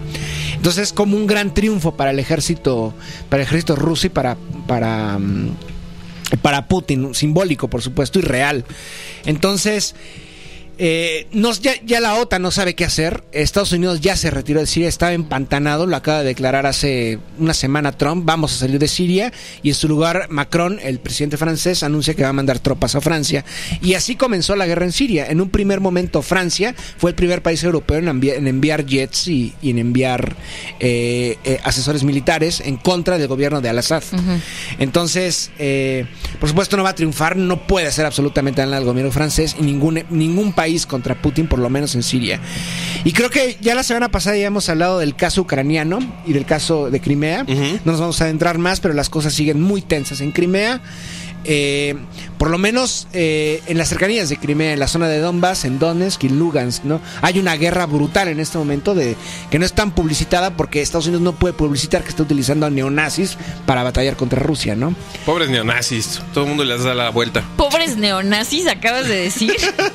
Sí, Se ha escuchado. Así es. Y ocurre lo mismo que pasa en Siria, ¿no? O sea, están llegando milicianos tanto de Polonia como de los países bálticos, incluso de Israel a combatir en, Ucrania en contra de Rusia, ¿no? Entonces vemos que el modelo se repite. Y ya habíamos hablado también de Georgia, eh, en fin. Ru- Ru- hay un Rusia en este momento lo que busca hacer Estados Unidos y la OTAN es hacer un cerco total a todo alrededor de Rusia. Y no mm, no podemos descartar que en los próximos 10 años el siguiente conflicto va a ser en un conflicto que realmente nunca ha ocurrido uno así. Va a ser en el Ártico probablemente. El, Ar- el Ártico está siendo militarizado en este momento. Rusia está poniendo bases en el Ártico en su territorio para defender la- el asedio que va a venir del Ártico que las de aguas congeladas no ¿Por entonces qué en el Ártico? ¿Por las, eh, por las eh, reservas de petróleo? En parte por las reservas de petróleo que están más, más bien en el Ártico, en el este, cerca de, eh, de Siberia, de Siberia Oriental. Y en parte porque quiere instalar. Recordemos que es que es muy difícil de, de- entender si no tenemos un globo terráqueo. Pero recordemos que se van haciendo más angosta la Tierra. Entonces realmente hay un momento en que Canadá Noruega y otros países tienen fronteras muy cercanas a Rusia en el Ártico. Entonces el chiste, que lo que buscan hacer estos, estos países es colocar eh, escudos antimisiles también en el Ártico para, para rodear a Rusia, ¿no? Entonces que Rusia quede totalmente rodeada. Igual la- el conflicto que hay en Corea del Norte contra Corea del Norte, no nada más es por Corea del Norte, es contra China y contra Rusia. Poner baterías justamente cerca de Vladivostok. Y otro escenario más es en Asia Central. Van a empezar a caer gobiernos en Asia Central porque esa es la siguiente. O sea, es, son fichas de dominó, piezas de dominó, ¿no? Entonces, aunque haya habido triunfos apoteósicos por parte del gobierno ruso, eh, la situación ahorita está muy, muy complicada y más por la demonización constante que hay contra Rusia, ¿no? Tú prendes la televisión, eh, eh, pones cualquier sitio de internet y es Rusia, Rusia, es un bombardeo mediático constante en contra de Rusia. eh, y, y no nada más contra Rusia, contra sus aliados más cercanos. Recordemos este proyecto de los llamados BRICS. Eh, vean lo que acaba de pasar, por ejemplo, en Brasil ayer, ¿no? Sí. Que acaban de encarcelar a, a- bueno, a, a Lula. Y Lula, Lula, ¿qué? Acaban de votar por. eh, le acaban de negar el último habeas corpus, que es el último amparo que impediría que lo encarcelaran. O que al menos lo, encar- que lo encarcelaran mientras eh, se concluye el juicio. proceso, ¿no? El proceso. Entonces le queda una última chinampina, pero al parecer ya es un mero trámite y ya estaría fuera de, de todo proceso electoral Lula. Qué duro. y no es coincidencia que hace tres semanas, ah, tú, me, tú me diste la primicia, quitaron al presidente de Sudáfrica, Claro. otro miembro de BRICS.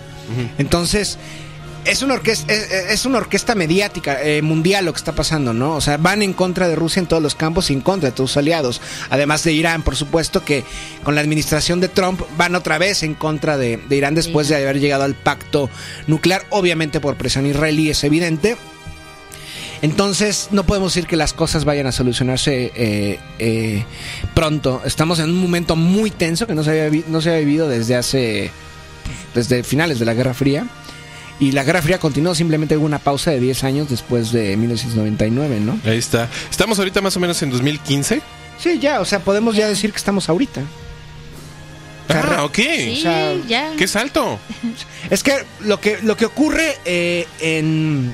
¿Y de qué vamos a hablar el resto del programa, Nader? Pues podemos hablar de otros, otros, otros ataques que ha habido contra Rusia. Por ejemplo, tumban un avión que está, está despegando de, eh, de- del Mar Negro, eh, de Crimea, justamente, bueno, del lado ruso, eh, rumbo a Siria, que trae a miembros del ejército del, del coro del ejército rojo, ¿no?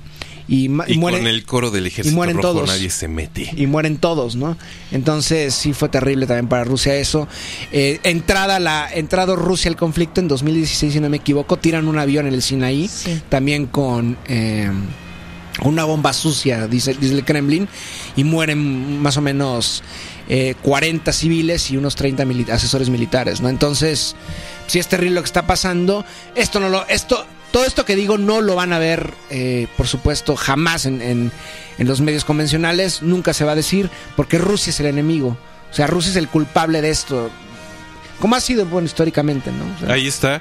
Bueno, mi querido Nader, hemos llegado a 2018, aparentemente. Eh, el, el periodo de Putin se puede englobar en estas pues muy complejas pero también bastante comprensibles oraciones que nos has eh, entregado esta mañana. Tal vez en el siguiente bloque podríamos pensar eh, en dónde estamos en el mundo frente a Rusia. Es decir, ¿por qué el, el juego en Estados Unidos con Rusia? ¿Por qué lo trataron de meter Sí. a México? ¿Cuál ha sido de verdad la participación? Si es que ha habido alguna, si, ¿para qué le funcionaría a Rusia de verdad ser eh, pues tan, eh, tan metiche por Sí. todos lados? Eh, ¿Hacia dónde va? ¿Cuál va a ser la relación de Rusia con China? Evidentemente. que recordemos que la China es el plato fuerte. sí. O sea, no van contra Rusia, van contra China. O sea, China. Eso nunca lo habías dicho, por ejemplo. Oh, sí, A ver, creo que sí lo había falta men- un- un- sí lo había mencionado, Falta una pero- hora de programa y ahora resulta que llegamos al plato fuerte. Sí, o sea, a ver, Después de 30 horas. Rusia es un país muy poderoso. Ha habido una eh, eh, un regreso de, de Rusia al escenario mundial. Ajá. Sin embargo, ahorita la mayor potencia del mundo es China. Es China. Ajá. No, no hay, ni Estados Unidos le llega a, a los talones a, a China, ni económicamente, eh, ni tal vez militarmente sí en cuanto a tecnología de avanzada. Pero en los próximos años, justamente con asistencia rusa, eh, China podría apuntar a otra cosa, ¿no? O sea, realmente el conflicto va a ser en los próximos 20 años Estados Unidos y todos los países satélites de la OTAN, Ajá. Europa incluida, Ajá. contra China y Rusia. No hay está. más. Entonces, hay que estar preparados. Por eso la sinofobia también es importante, ¿no? Ahí está, señores. Estás ya, eh, Ya. paladeándote. Estoy calentando Sí. motores. Sí, hoy deberíamos conseguir que algún restaurante chino nos patrocinara, ¿no? Kuo Long, si andas por ahí escuchándonos. Son unos acá, unos rollitos primavera todas las mañanas aquí en tu eh, invasiones. Rollitos ¿no? primavera, imagínate desayunar rollitos primavera. Está medio acá, ¿verdad? Pato pequinés. Es así como después de 15 capítulos de Ah. sinofobia. Bueno, señores, señores, termina esta serie y también este programa porque necesitamos empezar a ahorrar para el cardiólogo. Acá nuestro querido Vic Dupont nos pregunta, ¿se esperaría algún problema en India por eso de los BRICS? Sí, ¿Qué eran los BRICS? sí. ¿Qué eran? ¿Qué eran? Eh, son. Brasil, Rusia, India, eh, China y Sudáfrica. Es como una pandilla. Es la Los BRICS. Los BRICS.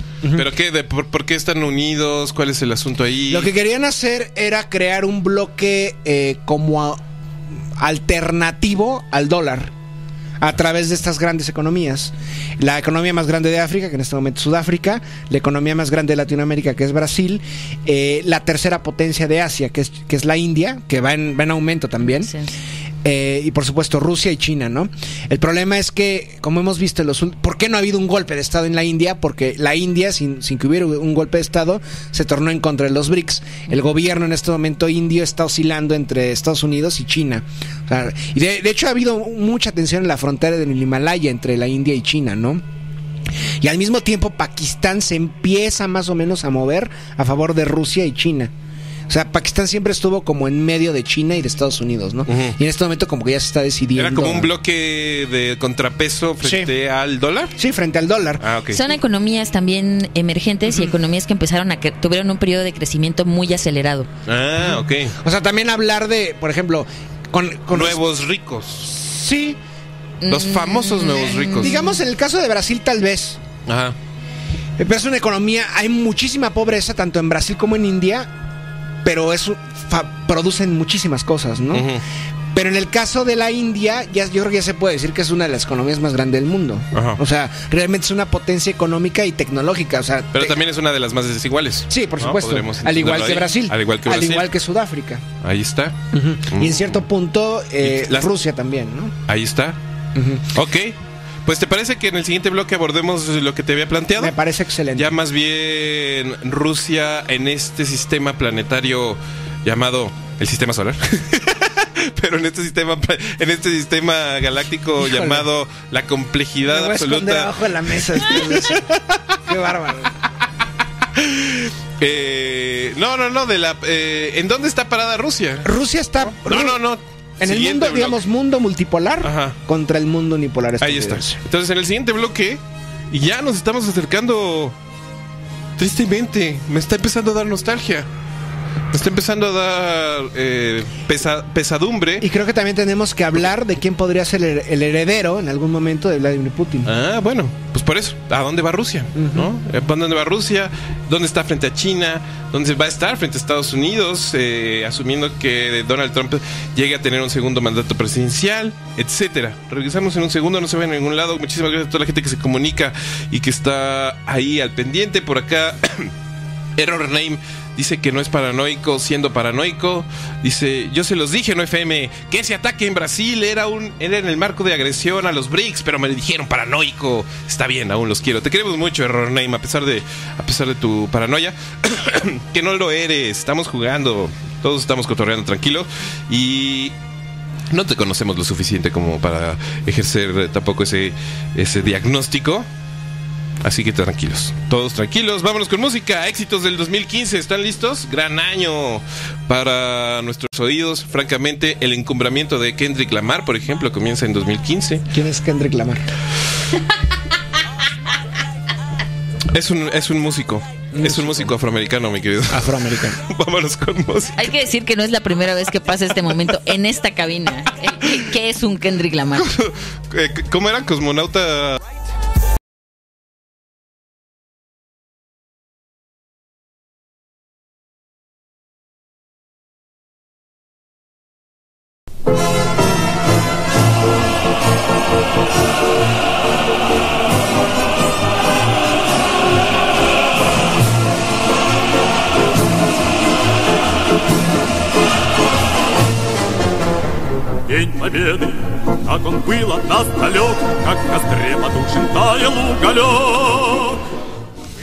De la victoria.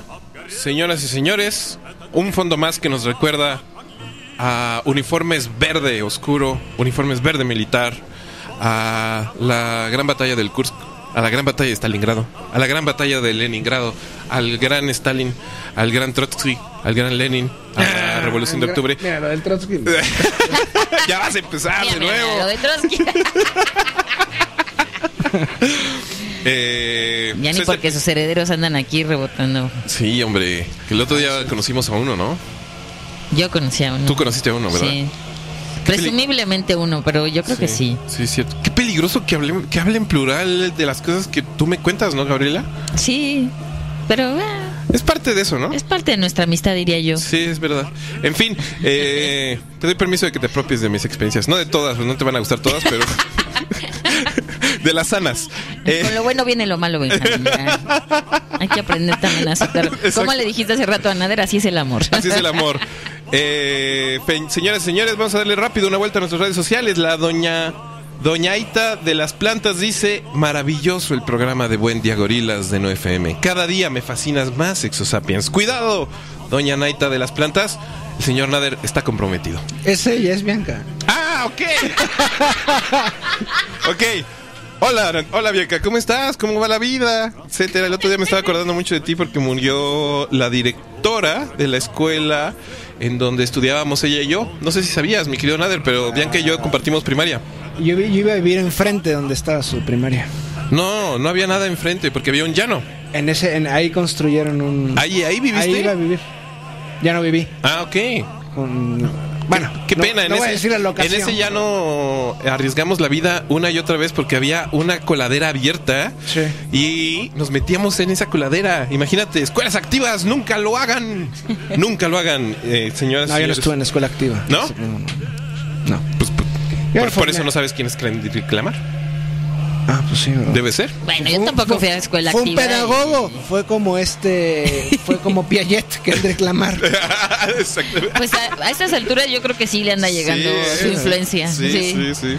Es, Yo- es importante. yo el otro día me Al menos en temas de poesía coral. El otro día me sumergí en, en lo que escuchan los jóvenes ho- hoy, hoy en día.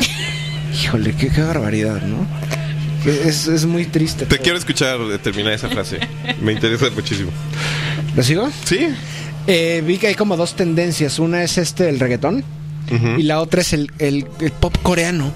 Ah, el pop coreano es Ah, importante. es interesante, sin duda sí. alguna. Es, es- es algo muy extraño. Es el Caribe contra Corea.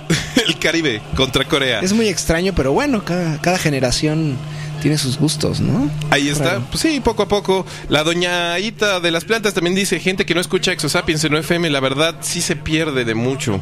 Pero pueden escucharlos y verlos después en el canal de YouTube de Exosapiens. Ahí está. Mostrovich también dice, invasión es genial con el maestro Exosapiens. Ya quiero bailar la mama, la mamushka. Cuando vengan los rusos, estaría bien que al final pongan la rolita del mundial. Mm, ¿Cuál rolita del mundial? La rolita del Ah, Mundial de. Rusia. ¿Ah, ya salió? Rusia, 2018. Que digo que te- también tendremos que pasar por ahí en, en esta en este cierre del Hasta programa. las conspiraciones deportivas, ¿no? Así es, digo, todo, todo el asunto del dopaje y, Sí. y demás, pero quizá también hab- habría te- eh, que hacer como un contrapeso de esta ondada internacional eh, rusófoba que se contrapone con un apoyo brutal a Vladimir Putin dentro de las fronteras de Rusia. Sí, sí, sí, o ¿no? sea, es... Acaba de ganar las elecciones con un 70% de los votos, Sí. en una de las elecciones con más participación eh, desde que cayó la URSS. Pues es que recordemos, bueno, otra vez señalando, Rusia es- ya es capitalista, no estamos hablando de la Unión Soviética, Claro. pero después de esos 10 años atroces de Yeltsin, eh, La gente quedó muy ciscada, ¿no? Sí. Eh, De hecho, una de las declaraciones más elocuentes que nosotros encontramos por ahí eh, tras el triunfo de Putin es que una señora decía, bueno, no sé si está bien o está mal, pero sé que el señor, que Vladimir Putin le da estabilidad A Rusia. y continuidad a Rusia. sí, levantó, levantó al país y...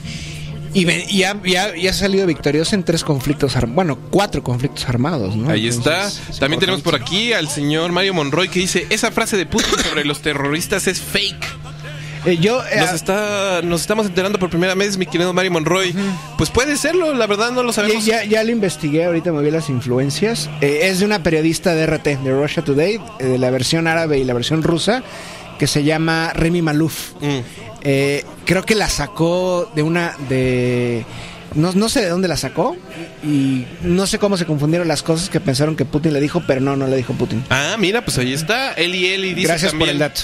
Ayer recomendaba No FM a mis amigos. Seguiré por acá, mi querido Nachín. Eh, Eli Eli Eli, perfecto, muchas gracias. Senso- eh, recomendaciones sensuales para todos tus amigos. Haces muy bien. Por acá también dice el gran Solín. Entonces, ¿por qué la alianza de Rusia con Turquía y la instalación de su primer reactor nuclear y escudo de cohetes donado por Putin? Probablemente eh, por- vamos, a, vamos a tratar de entender lo que fue el golpe de Estado, ¿no?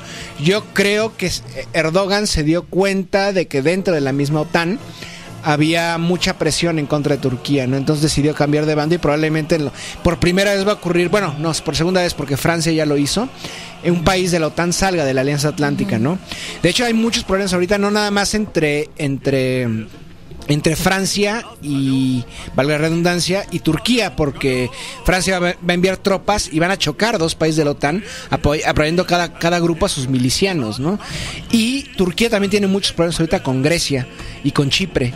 Entonces vamos a ver qué ocurre. Recordemos que Chipre está partido en la mitad, una parte es griega y la otra es turca, ¿no? Entonces... eh, vamos a ver un, un- algo que no se podía contemplar hace 10 años, un alineamiento que va a ser Teherán, una potencia chií, eh, Ankara, que es una potencia suní, y Rusia, ¿no? Entonces algo extremadamente raro que no se había contemplado hace 10 años, pero lo estamos viendo en este momento, ¿no? Entonces los astros euroasiáticos se alinean a favor de, de Moscú y de Pekín. Listo, señoras y señores. Bueno, mi querido Nader. Rusia 2018. Pa, pa, pa, pa, pa. Ah, no, esa es la canción de Sudáfrica. Sí, Perdón. ahí es que onda con- No sé, que traigo el... el espíritu de Shakira el- dentro. el espíritu- exacto. My hips don't lie. Totalmente. Y... eh, pues en el contexto del mundial, mi querido amigo, que México va a ganar, evidentemente, y que justamente ayer estaba hablando con un taxista, El Mundial de Fútbol. Ah.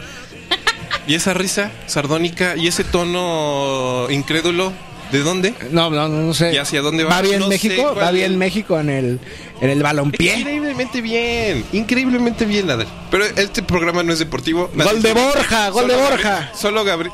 Gol de Borja. Solo Gabriel aquí tiene forma de discutir con gente que sí sabe de deportes. Eh, No, sí sé de deportes. Nah, es cierto. Sí. Sé mu- no sé, sé demasiado de historia del fútbol, por ejemplo. ¿En serio? Sí. Ok, Nader. Mira, yo citando a nuestra queridísima eh, Bianca, cada día me pareces más fascinante. ¿Todavía juega Zacatepec contra Unión de Curtidores? No sé El qué- oro, no sé el oro. ¿Todavía juega el oro? No sé qué decir al respecto. No sé qué decir al respecto. Pero bueno, en fin, en el contexto de Rusia 2018, pues tengamos, tendríamos que hablar y posicionarnos y aclararnos varias cosas de que y también entender cuál fue el gran pretexto para esta serie de 10 programas para comprender y justamente llegar a este punto en este programa. Sí. La relación del mundo con Rusia actualmente, Rusia y el mundo, porque también tenemos que entender que no es... eh, eh, tal vez mucha gente se puede ir con la finta después de estos 10 programas, 30 horas de halagos y también señalaciones, eh, señali- señalizamientos, señalamientos Señalamiento. a Rusia en términos de que pobre Rusia, no, no, pobre Rusia no, también son, eh, pues son muy abusados, ¿no? Eh, pero entender cuál es eh, en estos momentos, en estos instantes, en este día en que Putin acaba de ganar otra vez las elecciones, como bien lo mencionaban, en este momento en que Rusia organiza el Mundial de Fútbol, en este momento en que Rusia está todos los días en los titulares de Estados Unidos, en este momento en que Rusia está todos los días, o estaba todos los días, que se les cayó un poquito el teatrito porque pues no había mucha forma de sostenerlo y la verdad es que Andrés Manuel López? Obrador Ah. lo manejó perfectamente bien. Nuestro reconocimiento a la gente que esté ahí detrás de esa campaña y también al señor López Obrador porque lo manejó como, como un original gangsta. Eh, ¿Por qué Rusia está en los titulares de todo el mundo? ¿Por qué se habla de Rusia y Venezuela? ¿Por qué se habla de Rusia y el mundo árabe? ¿Por qué se habla de Rusia y Europa? ¿Por qué siempre hay esta confrontación entre el Kremlin y Berlín, porque eh, ¿por qué Rusia, Rusia, Rusia, una tras otra? Y evidentemente, ¿por qué Rusia y China? Eh, bueno, eh, re- quienes han estado siguiendo estas transmisiones, recordemos que la Guerra Fría no es, no, no es ni siquiera un fenómeno que comienza con la con eh, el triunfo de la revolución bolchevique, viene desde atrás, viene desde el siglo, desde finales del siglo XVIII. Es consecuencia del gran juego, primero entre Gran Bretaña y, y, y Ru- y- y el imperio zarista ruso, ¿no? O sea, es un fenómeno ya de larga duración, 200 años, y si nos vamos más atrás, vamos a encontrar conflictos desde que los caballeros teutónicos invaden contra Rusia, contra Alexander Nevsky, ¿no? Rusia es un país eh, muy rico, extremadamente extenso, que influye a todos los países en- de, de su órbita. No me refiero a su órbita nada más ideológica y política y diplomática, sino en su órbita territorial. Entonces, eh, llegó el, sistema mundo capitalista, llega eh, en la década pasada como un tope, ¿no? A sus crisis cíclicas. Eh, y justamente el epicentro se mueve de Estados Unidos, se mueve a China. Y, se- y ahí así se ha estado perfilando desde los años 80, ¿no? Entonces, obviamente China no va a poder dominar al mundo sin asistencia de otros países. Pero esta vez no, China no, obviamente su socio natural por la cercanía y en, por algún momento durante la, de- el siglo XX por ideología, es Rusia, primero Unión Soviética, luego Rusia, ¿no? Entonces, justamente el epicentro de la economía mundial se está moviendo del Atlántico y del Pacífico, se está moviendo justamente a, a- a Asia, eh, a Eurasia. Entonces, Estados Unidos que está no puede competir con China, lo hemos vis- lo hemos dicho infinidad de veces, no puede hacer nada contra China, no puede. Eh, por lo menos económicamente no lo puede hacer. Y China necesita de Rusia, ¿por qué? No nada más por tecnología y por experiencia militar, sino también por, por energía. Rusia tiene el gas y tiene el petróleo, algo que China no tiene, ¿no? Entonces, lo mejor, que, lo mejor entre comillas, que puede hacer Estados Unidos es alinear esos estados satélites que durante toda el siglo, la segunda mitad del siglo XX fueron Europa para ir contra Rusia, ¿no? Primero Rusia y luego China, demonizar a Rusia constantemente. Porque Rusia ya no es la Rusia de Yeltsin. Recordemos que estuvo muy contento Estados Unidos y la rusofobia se detuvo en los años 90. No había, eran hermanitos. Vemos a Yeltsin alcoholizado bailando en la Casa Blanca. Vemos a Bill Clinton a- eh, eh, dándose risotadas con Yeltsin, ¿no? Y esto se detuvo repentinamente precisamente por Putin. Eh, es, es entendible que a mucha gente no le agrade Putin porque estamos acostumbrados eh, ideológicamente a, a la Unión Soviética, ¿no? Entre ellos yo, por supuesto. Entonces, eh, sin embargo, Putin eh, tiene un mérito que logra levantar un país que estaba acabado, totalmente destruido. Entonces, acaba siendo, se vuelve otra vez un mundo tripolarizado. Eh, y Estados Unidos no sabe cómo hacerlo, no sabe cómo derrotar a Putin. Entonces, todas estas fallas de cálculo que ha habido, por, por ejemplo, de Gran Bretaña, son realmente infantiles. O sea, por- les ha salido bastante bien, ¿no? Pero es un juego muy infantil y Rusia, bajita la mano, mantiene la calma. Y de tanta amenaza, eh, hace tres semanas sa- saca el nuevo arsenal, lo, lo saca a la luz, ¿no? Van a intentar destruirnos, pero nosotros tenemos las herramientas para defendernos. Y no somos ya la Rusia de hace, de hace 15 años. Tenemos el potencial para resistir y hemos vencido en dos ocasiones a ejércitos multinacionales en menos de 200 años, ¿no? Entonces estamos dispuestos a hacerlo otra vez. Entonces, ¿Tú crees que están dispuestos? Eh, Es una, es Yo una creo que el- muy densa, ¿no? yo creo que el problema no ven. bueno, ahora vamos a concentrarnos justamente en, el- en- en este, en el supuesto eh, agente Putin que Putin que colocó a su agente Trump. Es totalmente falso. Esto no es así. Eh, esto es una leyenda urbana que empieza a crear eh, el bando perdedor de Hillary Clinton y Barack Hussein Obama cuando son derrotados en la elección. Obviamente vamos a derribar a dos pájaros de un tiro, ¿no? A Trump, que pues, obviamente es un personaje xenófobo, y, y al mismo tiempo al gobierno del Kremlin, ¿no? Pero esta estra- estrategia, eh, Putin la tomó muy con calma, el Kremlin la tomó muy con calma y no pasó a mayores. El punto es que, eh, digamos, la, los neoconservadores a través de Hillary Clinton se han convertido, ya, ya están instalados en, el- la administración Trump. O sea, ya controlan por completo la administración, la administración Trump. Podemos verle el nombramiento de Pompeo, por ejemplo. Es un claro símbolo de esto, ¿no? Entonces, eh, lo que pudo haber sido en algún momento cierto, por más que no soportemos a, no soportemos a Donald Trump, pudo haber en algún momento cierto diálogo con el Kremlin a través de Putin, ¿no? Esto ya no es así. Ya están rebasadas todas estas estos estos maneras diplomáticas y está en una situación extremadamente tensa. No se han retirado embajadores y se ha creado una leyenda negra en todo el mundo de que Rusia ha intervenido en todas las elecciones habidas y por haber y en procesos distintos, desde el Brexit hasta la independencia de Cataluña, ¿no? ¿Qué Entonces, podría, digo, quitándole un poquito el carácter lagartiano y Illuminati a todas estas ideas? ¿Qué podría... lagartiano. Eh, sí, así se llaman esas criaturas que dicen que dominan la humanidad, ¿no? Sí. ¿Lagartianos? Sí. ¿Lagartijos? Los reptilianos. Re- Reptilianos, Reptilianos. lagartiano. lagartianos. El carácter reptiliano Iguanesco. y, y iguanesco, los reptilianos asentados en Yucatán, los iguanescos. eh, ¿Cuál podría ser la motivación? Digo, asum juguemos Suponiendo a las que- hipótesis. suponiendo que- si Putin y Rusia en general eh, dijera, no, es que la neta es que no nos gusta para dónde está jalando el mundo. vamos a intervenir todas las elecciones del mundo, ¿cuál podría ser la motivación? Pues en primer lugar, eh, quitarle aliados a Estados Unidos, ¿no? Y más, en el caso de México, pues tendrías a un... a un Siempre en contrapeso con una nación que está tratando de influenciar a todas Sí. las naciones. O sea, todo lo que, lo que dicen que ha hecho Rusia lo, ha- lo ha hecho Lo- Estados Unidos Una y otra vez. una y otra vez. En América por lo, por lo menos lo ha hecho 50 veces. En todos los países habidos y por haber, desde República Dominicana hasta, hasta Chile. Entonces, eh, quien pueda pensar que Rusia puede intervenir en, en México, que es prácticamente todo está controlado por Estados Unidos, pues está negando la realidad, ¿no? Eh, y más cuando Estados Unidos sabe, probablemente asume ya que va a ganar eh, López Obrador, no le pueden hacer como un tercer, un tercer fraude, ¿no? Ya sería demasiado arriesgado para ellos incluso, ¿no? Es- esperemos. Esperemos, bueno, quién sabe, ¿no? El punto es ¿Tú por que quién vas a votar, Nade? no sé si vote.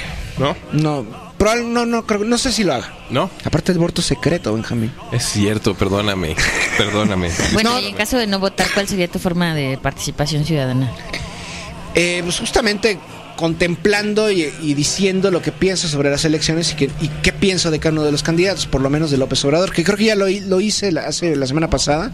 Di como mi opinión sobre López Obrador y por qué no le ha puesto tanto a él. Sin embargo, dicen que es el, el- el menos peor, ¿no? Sin duda lo es, pero para lo que yo opino sobre, eh, digamos, mis paradigmas Ajá. personales, eh, López Obrador no está contemplado. Sin embargo, no sé, pues, en un momento puedo tomar una decisión apresurada y hacerlo, ¿no? Una- un momento de Un desesperación. momento de desesperación. Ahí está. Entonces, mi querido Nader, Putin, China, Alemania, Che. Estados Unidos, ¿qué está pasando en estos momentos en ese en ese anillo un poquito psicótico de ah, perdón, te iba a dar una basura. Eh, un, eh, en este anillo un poquito psicótico de poder en el mundo. Hay un proceso de, no solamente de reacomodo económico, sino también político. Hay un proceso de desintegración interna de la Unión Europea y hay muchos problemas en la OTAN. Más que nada en la Unión Europea, yo creo que la Unión Europea no va a pasar de 10 años más. ¿Tú crees que no? Mm, Yo creo que no. Eh, precisamente un método para mantener aliada a la Unión Europea es generar un enemigo en común, ¿no? Ajá. Y justamente eso es Rusia. Y vemos que todos los países, la mayoría de los países de la Unión Europea, no todos, ha retirado sus embajado- eh, su personal diplomático de Moscú. Y, vice- y vice- viceversa, Moscú ya tomó las medidas pertinentes recíprocas, ¿no? Entonces, eh, la Unión, la- Europa está pasando por una crisis severa. eh, y, y Gran Bretaña lo sabe y por eso hacen el Brexit, ¿no? Eh, porque realmente Europa y al mismo tiempo Gran Bretaña se trata de vincular por China por su propio lado, ¿no? Entonces, es difícil lo que está pasando eh, y por supuesto todo apunta a que van a seguir culpando a Rusia durante los siguientes meses, ¿no? El chiste también es darle, eh, quitarle a Rusia ese papel emblemático que ha tenido, va a ser a través, sim- totalmente simbólico a través de la Copa del Mundo, ¿no? De fútbol. Sí. Entonces, ya lo habían intentado hacer en Sochi. eh, metieron eh, eh, toda esta leyenda también en las, en las Olimpiadas de, eh, de Río de Janeiro. Entonces, pues ya, ya se hablaba del, del, de la, de- del, ¿cómo se llama? Del dopaje, Dopaje. de los, de los atletas rusos, ¿no? Que bueno, también hay que decirlo, el dopaje existe. El dopaje ¿no? El- existe. el dopa- y hay un, un, un programa sistemático, eh, sí, en Rusia, que también existe en otros países. En O Estados sea, Unidos, por ejemplo. el- hay- aquí no, no se trata de desmentir o no un, un hecho, sino del tratamiento no mediático. no, contra todos. El tratamiento mediático que se le da, no solamente porque es contra Rusia y no contra todos, sino eh, la orientación del discurso Sí. del dopaje, ¿no? Que ya resultó luego que Putin era casi casi el que había ordenado el, el sistema, ¿no? Sí, casi, casi van a que Eh, Putin exacto. cambió las muestras de orina, ¿no? Algo así, ajá. Entonces sí, y, y es en todos los campos. Vemos también cómo eh, todo el poder mediático, el más media estadounidense y la cultura pop está creando a- al monstruo que es Putin, ¿no? Estamos viendo una nueva... Es una secuela del macartismo, pero esta vez Hollywood está totalmente entregado a, en contra de Putin, ¿no? Porque están total, Hollywood, recordemos que en este momento está totalmente vinculado al Partido Demócrata, Claro. así como desde hace décadas lo ha sido, ¿no?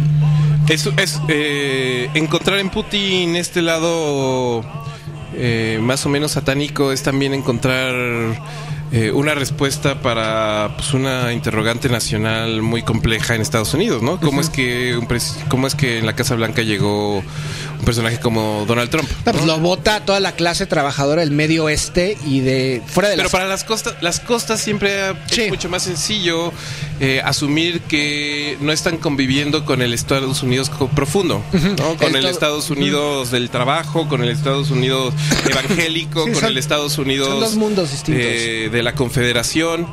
Eh, están están lidiando otra vez con fuerzas extranjeras eh, reptilianas eh, e instauradas por el poder soviético, ¿no? Sí, pues digamos es el, el votó el, el, cintu- el llamado el cinturón bíblico, el Rose Belt, donde estaban todas las fábricas en Detroit, todas esas zonas, todas vo- votaron por, por Donald Trump, no, no es casual, ¿no?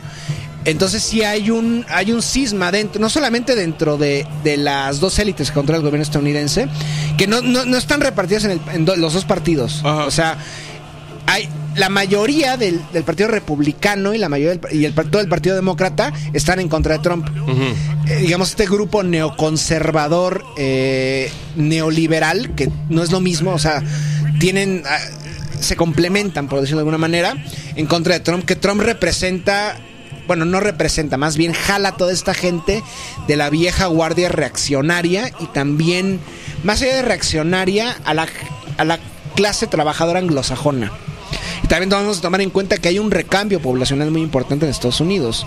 O sea, próximamente, en los próximos 20, 30 años, los blancos van a ser minoría. Ajá. Eh, van a estar en primer lugar los hispanos y en segundo lugar los negros. Entonces, sí hay una preocupación en Estados Unidos porque, vaya, se viene abajo, digamos, eh, pues es Estados Unidos anglosajón. Van- va, va a la baja, ¿no?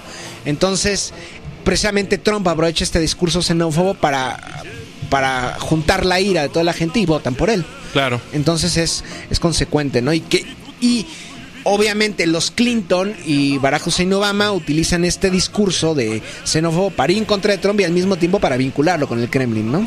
Como por acá diría el señor Putin, las condiciones de la restauración de las relaciones con Occidente y Estados Unidos son el respeto de los intereses de Rusia. Estados Unidos no necesita aliados, necesita vasallos. Sí, sí, sí, sí. Sí, eso lo dijo, sí, hace poco, de hecho, ¿no? Ajá. Y también dijo, si soy demócrata puro, por supuesto, soy un, un- soy un demócrata puro y absoluto, pero usted sabe cuál es el problema? Es que yo soy el único. No hay otros en el mundo. Tras la muerte de Gandhi, no hay con quién hablar. Sí, y, y vemos un fenómeno que se está generalizando, no nada más en Europa, sino también en otros países, de cómo eh, el, el- por- el neoliberalismo se viene abajo y resurge este capitalismo, no de Estado, pero sí nacional, ¿no? Entonces, por eso también está la necesidad de Donald Trump, ¿no? Que al parecer los únicos que no se han enterado de que el neoliberalismo va a la baja es el gobierno mexicano. Es impresionante cómo son los únicos, ya ni siquiera Canadá, están empeñados en que el Tratado de Libre Comercio siga, ¿no? El NAFTA, el Telecan. Eh, Pero pues, ya nadie quiere eso. Todos los, los, eh, los pactos binacionales y multinacionales de- económicos y comerciales están viniendo abajo, ¿no? La gente ya no quiere estar metida en estos pactos porque realmente el nuevo paradigma es tomar decisiones a partir de una nación, gobierno con gobierno. O sea, hacer una diplomacia uno a uno, acuerdos comerciales uno a uno y no una multitud de países. Que es por esto el, el caos que hay en la Unión Europea, ¿no? Ahí está. Pues mi querido Nader, estamos cada vez más cerca de decir adiós, hasta luego, hasta... Hasta luego, no pongas la- nerviosa a la banda. Hasta la, hasta la próxima eh, de este Invasiones dedicado a Putin. Ya estamos en 2018, muy claramente. Y pues tal vez en el siguiente bloque ahora sí podríamos soltar pronósticos, Sí. si te parece. Eh, Y las recomendaciones también. y bueno, justamente una de las cosas más pedidas eh, en este espacio, eh, recomendaciones, recomendaciones, recomendaciones, recomendaciones en este Suno FM de confianza. Nieto FM. en Niet FM. Nieto FM. Lo tuvimos que haber usado eso desde el principio, Sí, pero se nos fue. pero se nos fue por completo. Ni modo, mano. Así las cosas. Mientras tanto, pues vámonos, vámonos con música, mis queridos amigos. Regresamos pues a cerrar el programa, a ver eh, últimos detalles. Si tienen alguna duda algún cuestionamiento o alguna inquietud sobre toda esta serie de, eh, de 10 capítulos de Rusofobia, dos recomendaciones. Primero, manden su pregunta ahora o callen para siempre. Arroba no FM guion bajo, ra- guion bajo radio, arroba exosapiens, arroba tu ministro, arroba gastorgap. Eh, por Twitter, es ahora o nunca. No volvemos a hablar de este tipo de cosas, por lo menos en un muy buen rato. Entonces, es ahora si tienen cuestionamientos, si tienen dudas, si tienen mentadas, si tienen inquietudes, si tienen aplausos, también se vale. Eh, y la segunda es que pueden revisar el canal de YouTube del maestro Exosapiens, en donde eh, pues nos pueden ver nuestros hermosísimos rostros bien enfocados y con imágenes y diversión y muy, muy, muy, muy, muy eh, divertida conversación. Entonces ahí están las dos recomendaciones. Y mientras tanto, pues ya estamos en 2018. Escuchemos música del 2018 si les parece. Y regresamos. Esto es No FM. Todo menos miedo. Stand for the national anthem of the Russian Federation, performed by the Moscow Sretensky Monastery Choir. Дамы и господа, хор Московского Сретенского монастыря исполняет гимн Российской Федерации. Просим вас встать.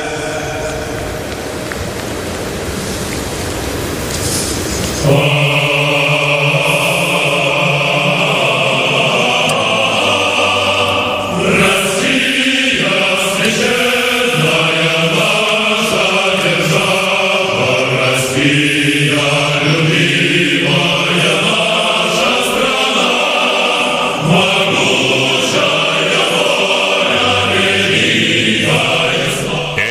Estamos de vuelta, mis queridos gorilas. Esto es 9FM y estamos en vivo y en directo para todos ustedes desde la Ciudad de México. El, himno de la Federación Rusa sonando en estos momentos en la inauguración de Sochi.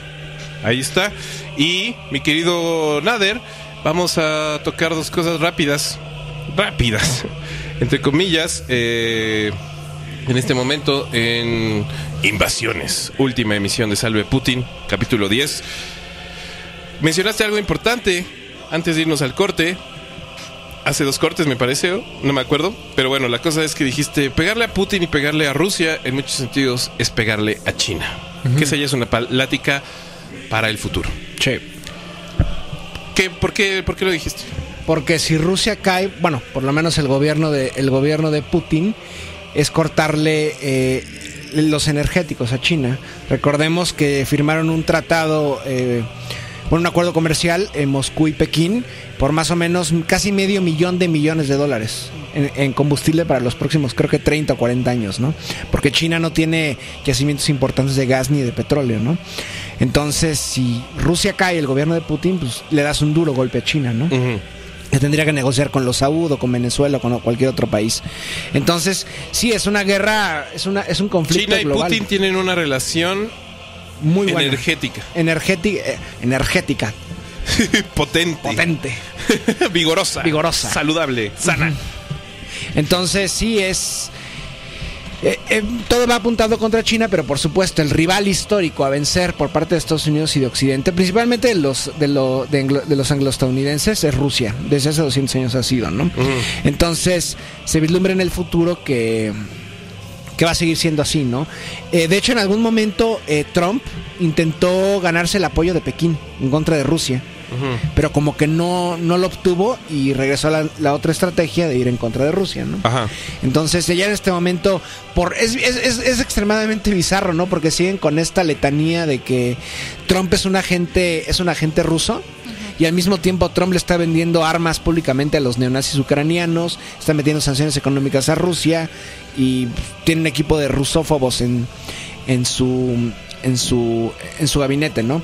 Entonces ya esto lo siguen repitiendo más que nada no en Estados Unidos tanto ya, sino en los países periféricos como México, ¿no? Con esta cantaleta absurda y ridícula.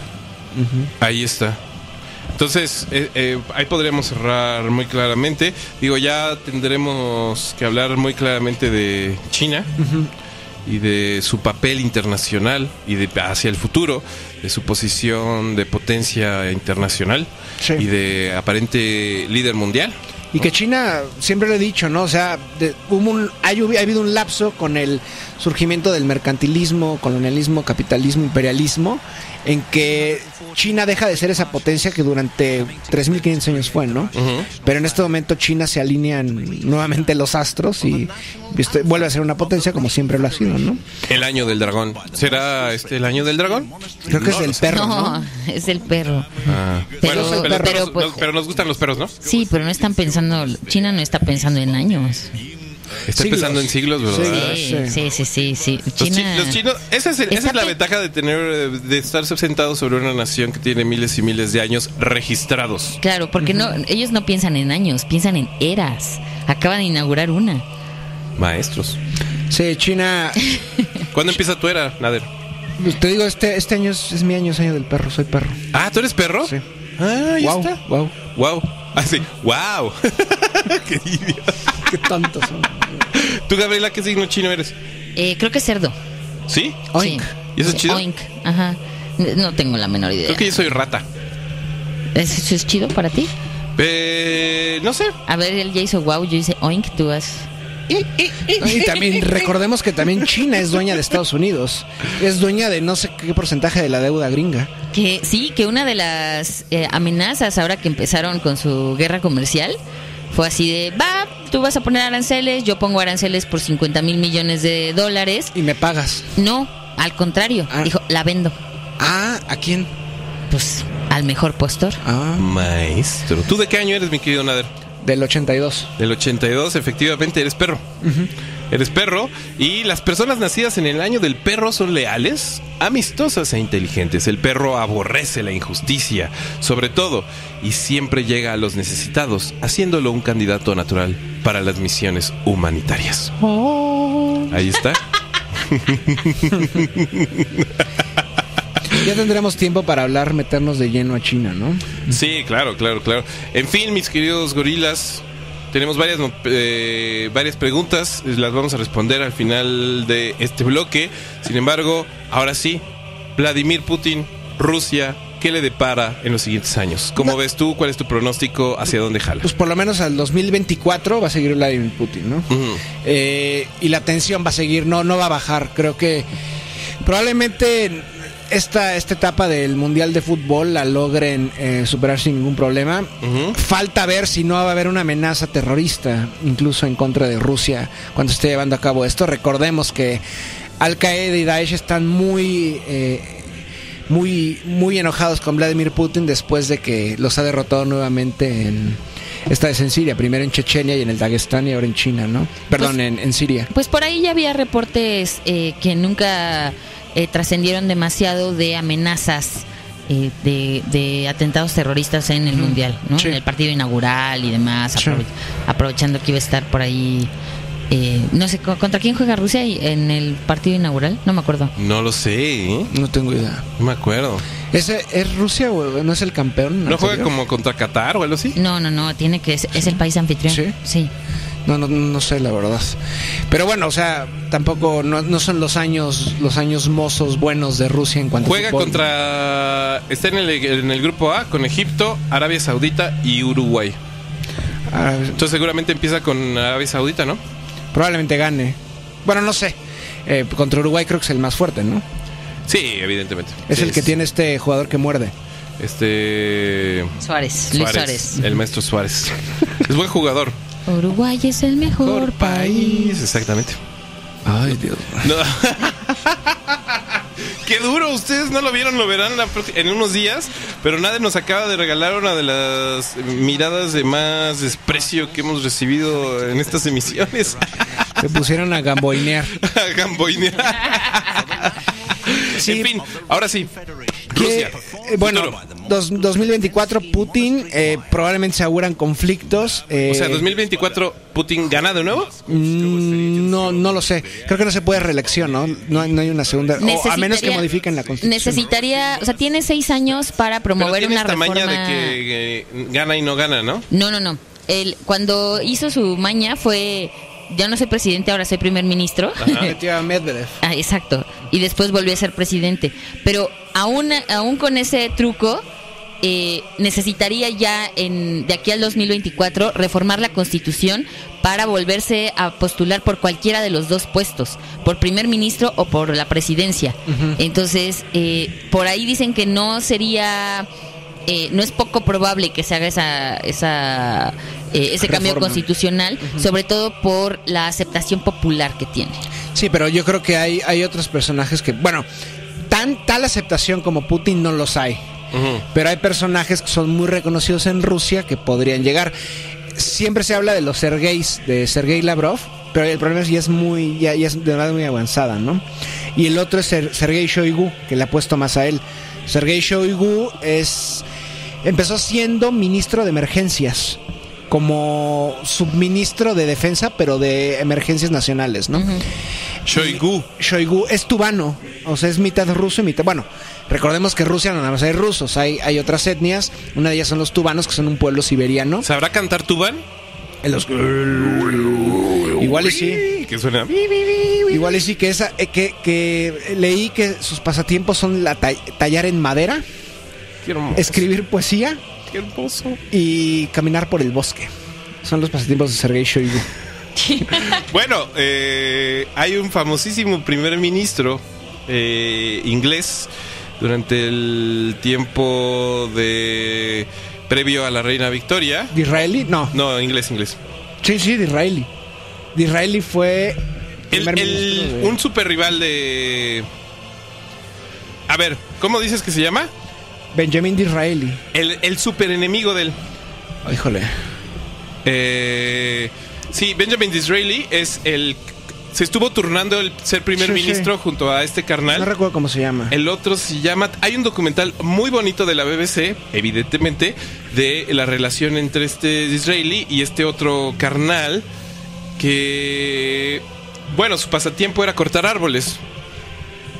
Tenía un problema. Ser un leñador. Se le complicaba la vida. es- se complicaba la vida para Inglaterra, etcétera. Y él lo que necesitaba era cortar un par de árboles para aclarar su mente. Entonces se salía a un parque cercano al Parlamento Sí. o se iba a su casa de campo y se ponía a talar árboles, él solo, con un hacha, sin que nadie lo interrumpiera, porque era su forma... Su catarsis, su- su, su forma su de... terapia. Exactamente, exactamente, exactamente. Entonces, eh, híjole, tú eh, síguenos platicando un poquito de... Bueno, yo le he puesto este personaje Sergei Shoigu, pero De por- ahorita les digo cómo se Por llama este supuesto, pueden salir árboles. otros. Eh, Sergei Lavrov, ya como ya lo mencioné, es muy viejo. Eh, creo que ya roza los 70, si no es que lo supera. Él está desde la Unión Soviética, fue embajador en Sri Lanka, creo. Entonces ya es muy difícil, ¿no? Pero. Gladstone. Ah, sí, sí, sí. William Edward. Gladstone. Sí, sí, sí, es el hombre que cortaba árboles. Y en Rusia hay justamente eso, ¿no? Está como después de la, de la disolución de la Unión Soviética, en esta crisis existencial e ideológica que hay, mucha gente retorna a la naturaleza, ¿no? De hecho hay, hay una cápsula, un pequeño documental de RT muy recomendable de esta, de la anciana esta que vive en el bosque, ¿no? Ajá. Es creo que uno de los viejos creyentes, hablamos de ellos hace como cuatro emisiones. Eh, hay mucha gente, muchos ermitaños, hay gente, por ejemplo, de Europa y de Estados Unidos que compra tierras en Rusia para irse a vivir y enclaustrar en el bosque y no salir nunca. Entonces, los, eh, mucho- el personal político no está exento de esto, ¿no? Ajá. Entonces, pues yo creo que tendrá que salir algún personaje de igual magnitud que Putin y por supuesto vinculado y en la misma línea que Putin, ¿no? Porque no, no- recordemos que el gobierno ruso no solo es Putin, es todo un estado y en primer lugar la milicia, ¿no? Sí. Entonces, Pero también podemos reconocer muy claramente después de 30 horas de platicar sobre este territorio que hay algo en Rusia que tal vez también tenga que ver mucho con algo en la humanidad, pero en Rusia es muy notorio, sobre todo en términos de eh, cómo se han dirigido, en que buscan personalidades interminables. sí buscan sí, justo, o sea, larger than life characters, Ajá. ¿no? Eh, eh, O sea, hemos, hemos saltado de personaje en personaje y cada uno de ellos parece digno de tener o un inmenso monumento o una inmensa fosa Sí. o una, una inmensa ciudad nombrada en su nombre. Hemos pasado de Iván el Terrible, Vladimir, hemos pasado- Alexander Nevsky, Iván III. hemos pasado por Pedro el Grande, Las por Catalinas. las Catalinas, hemos pasado por Alejandro, Stalin. hemos pasado por Lenin, por Stalin, hemos pasado por Shukov, hemos pasado por inmensos nombres sí. Y llegamos a otro inmenso nombre. Bueno, hemos pasado por Brezhnev, hemos pasado por Khrushchev. O sea, nombres eh, que parece que tienen, eh, que están conformados galácticamente. Sí. ¿no? Entonces podríamos pensar, y sin duda alguna, en Rusia seguramente ya hay alguien por ahí que esté evolus- e- ebulliendo en esa dirección. Sí, surgirá algún personaje. Pero parece que Rusia está íntimamente atada a sus personajes, a sus voces, a sus miradas y a sobre todo sus decisiones fuertes desde, desde personalidades fuertes. Sí, lo que tendríamos que empezar a acostumbrarnos es que eh, creo que preguntaron por ahí si, si vale la pena, creo que aprender francés y alemán en este momento. Ajá. O aprender eh, chino, que supongo que se refiere al chino mandarín. Mandarín. Y ruso, no sé si ruso, creo que todavía es tome muy regional, pero por lo menos el chino mandarín, sí, hay muchísima gente aprendiendo en este momento. O también el cantonés, eh, etcétera, ¿no? Sí, o sea, por supuesto, creo que por lo menos este siglo se perfila euroasiático. Ujú. Eh, creo que Occidente va a ser. eh, no es que vaya a caer la civilización occidental, creo que también es una imposición que nos han metido en la cultura, eh, no nada más popular, sino en la académica también. Y creo que debemos de empezar a ver al mundo de una manera distinta. Pero el problema de México es que sigue totalmente. eh, no ve más allá de su vecino del norte. Ese es un gran problema en México. Ni siquiera, ve a su- ni siquiera ve Latinoamérica. Es, es, es algo muy grave de México. Porque el problema es que si cae Estados Unidos nos va a arrastrar con, con él. Ahí está, mis querido, mi querido Nader. ¿Haremos conclusiones o podemos asumir que esta es la gran conclusión? Yo creo que es la gran conclusión. O sea, justamente por estas fechas, en los próximos 30 años, creo que se cumplen. eh, no, no, no, no hay como celebración oficial o conmemoración, pero son como los mil años del Estado ruso, ¿no? Desde que Rurik y los primeros, los varegos y los eslavos se, se juntan y lo fundan, ¿no? Entonces, yo creo que la historia de Rusia va para largo, ¿no? A menos que haya un cataclismo de proporciones épicas. Que esperemos no lo haya porque va a afectar al mundo entero, ¿no? Como el famosísimo meteorito que cayó no sé dónde en Rusia. Hace- ah, justo así empezó la. Empezamos esta, estas transmisiones, ¿no? Con Tunguska. Ajá. Esperemos que no pase nada así. Ahí está. ¿Te late si, va- no- si vamos con una canción y regresamos a despedirnos? Me late. Perfecto. Gran éxito de este 2018, el señor Post Malone. No dejen que sus hijos nunca se tatúen la cara. Es lo único que tengo que decir al respecto. Todo menos miedo. Señoras y señores, parecía imposible, pero lo hemos logrado, mi querido Nader. Después de 30 horas, damos por concluida nuestra serie. ¡Ay!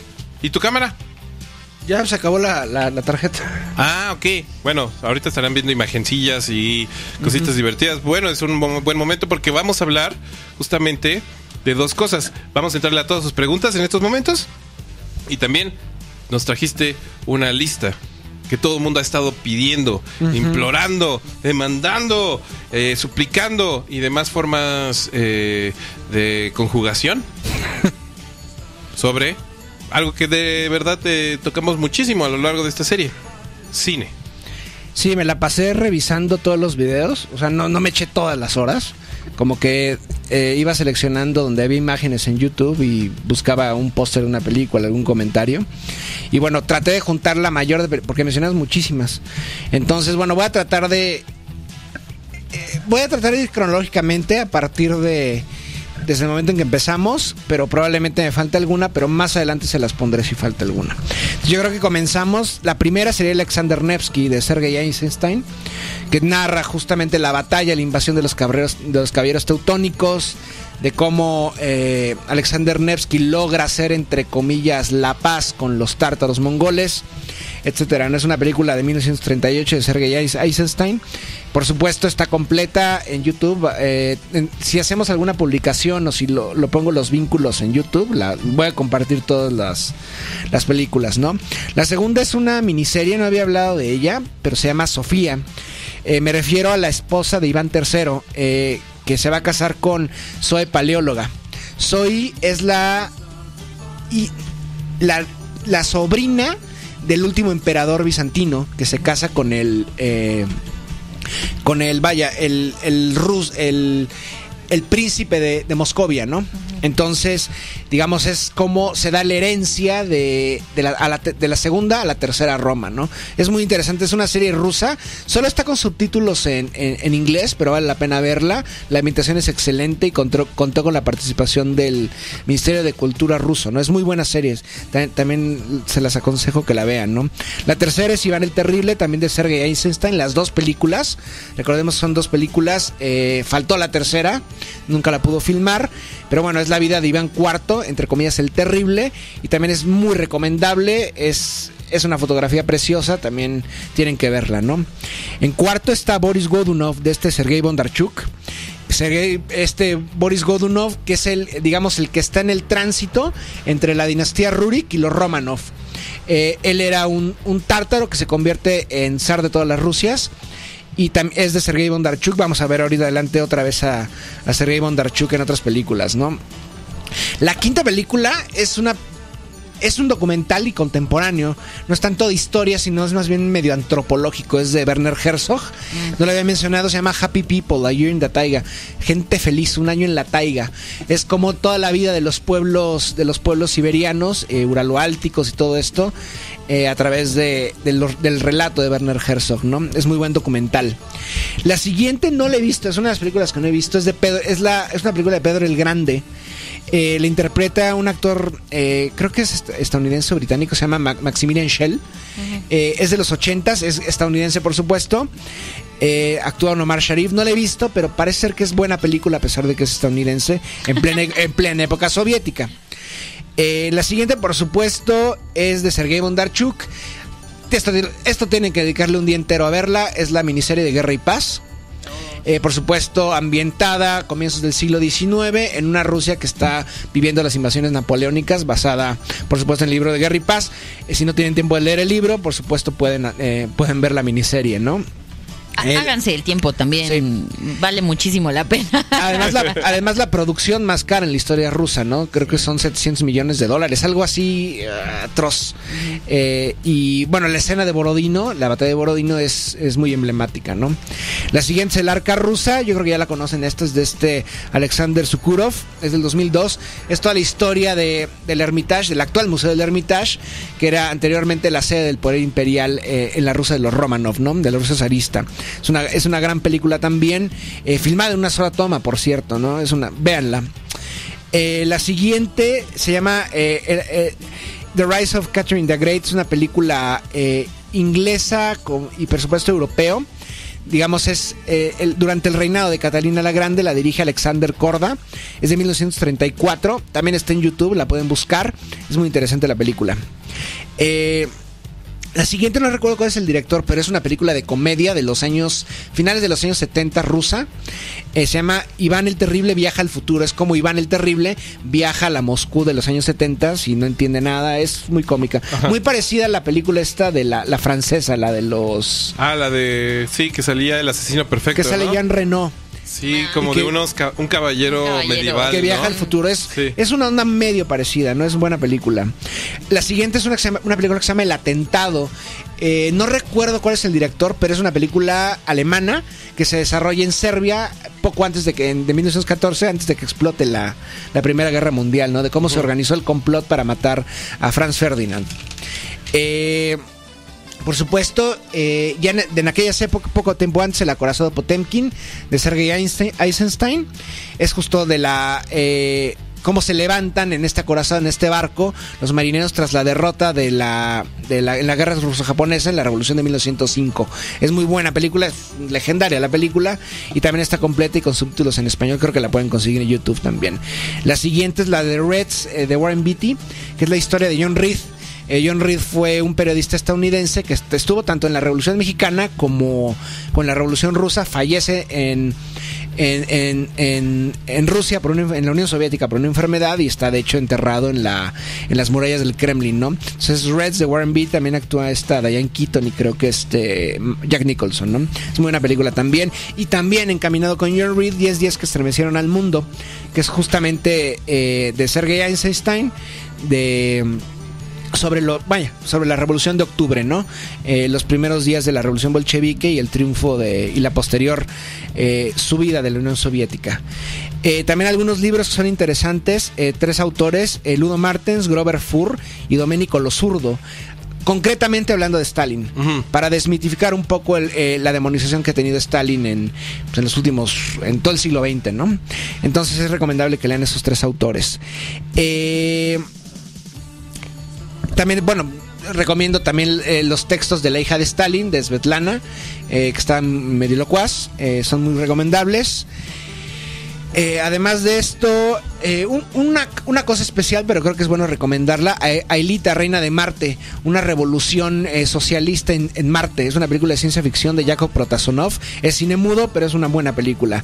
Patton, la historia del general Patton durante la Segunda Guerra Mundial. Peliculón. Peliculón que actúa este, creo que es George. Scott en el papel de Patton. Eh, Stalker.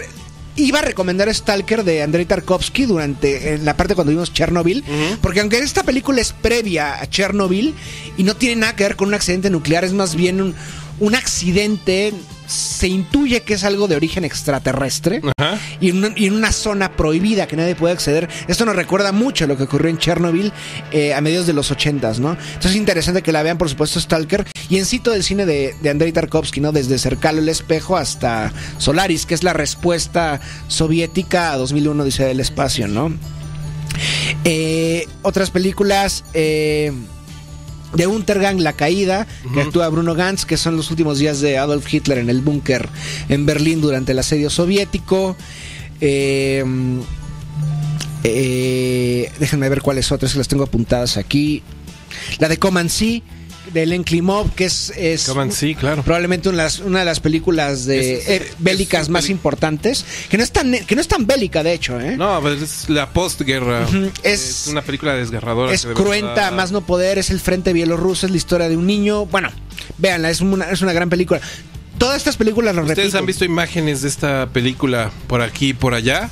Si no han tenido la oportunidad de verla, veanla completa. De verdad, es un testimonio humano eh, durísimo. Ustedes Sí. han visto en muchos lados en internet una mirada de un niño casi enloquecida, llorando. Es esa película. Sí. Otra, eh, otra que les recomiendo es una que se llama La, eh, la Conspiración, que es la que actúa en este Kenneth Branagh, no recuerdo el director, que es la historia de cómo llegan los nazis a la solución final, ¿no? Eh, este Kenneth Branagh interpreta a este Reinhard Heydrich, el ángel de la muerte, uno de los principales, eh, de los nazis más, más cruentos que ha, que ha habido, ¿no?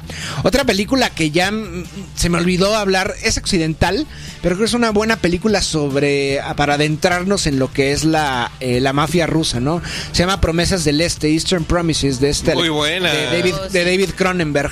Si, Actúa en si este... quieren tener un momento erótico muy profundo y muy desconcertante, eh, vean por favor la escena de El baño.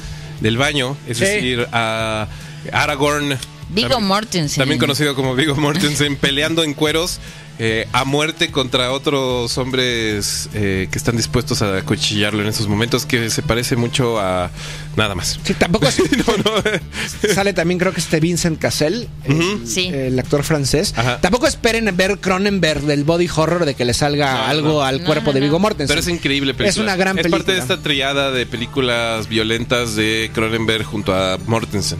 Sí. Una historia violenta, no- eh, Eastern Promises, etcétera.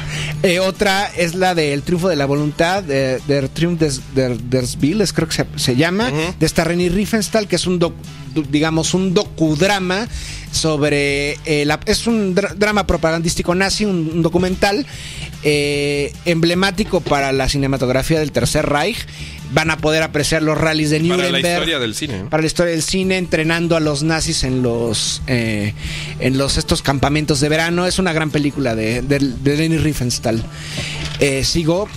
Es que son muchísimas películas. Vas, ¿no? vas, vas, vas, vas. La conversación de Francis Ford Coppola creo que es interesante para conocer ese mundo del espionaje de los años 60 y 70 que estaba inmerso todo el cine estadounidense. Y raro, el cine soviético no se metió tanto en esta lógica de, de, de enfrentamiento con Estados Unidos, ¿no? El cine soviético del siglo XX se dedicó más a hablar tanto de los traumas de la guerra civil como de los traumas de la, de la Segunda Guerra Mundial, ¿no? Y de la historia de Rusia, por supuesto, pero no tanto de la historia contemporánea que vivían en ese momento. Momento.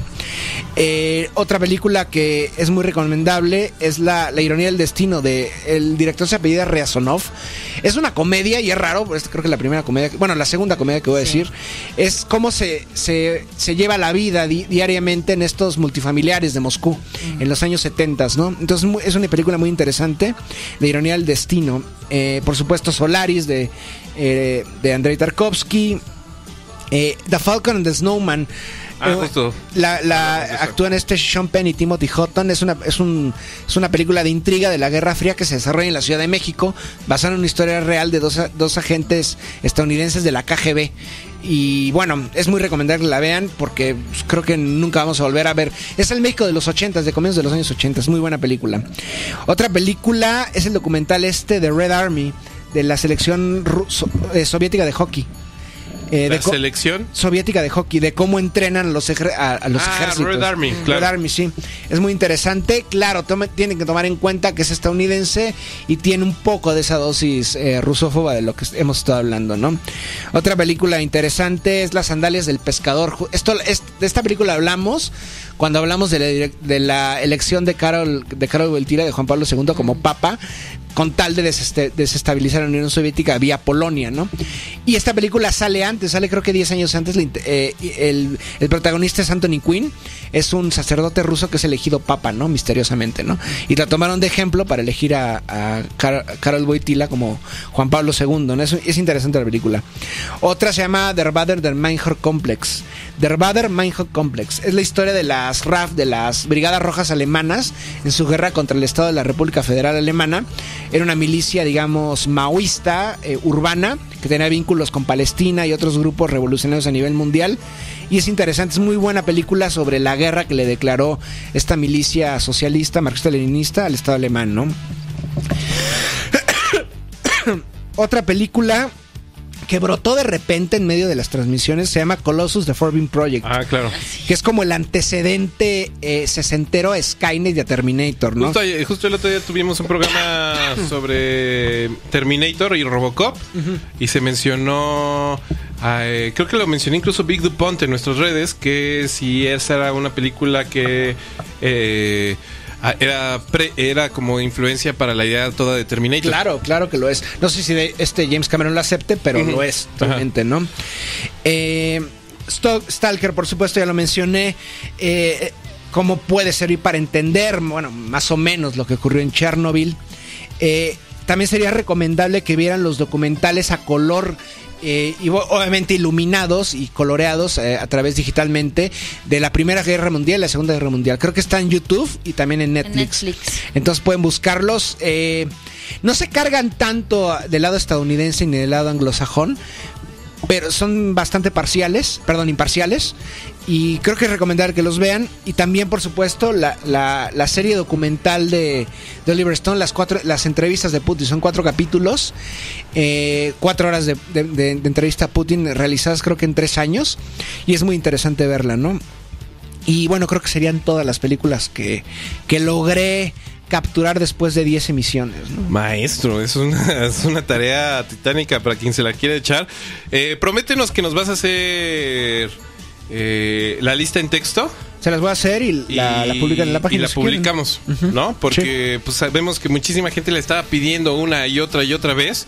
Y ya la acabas de soltar muy claramente. Va a estar en el video, evidentemente.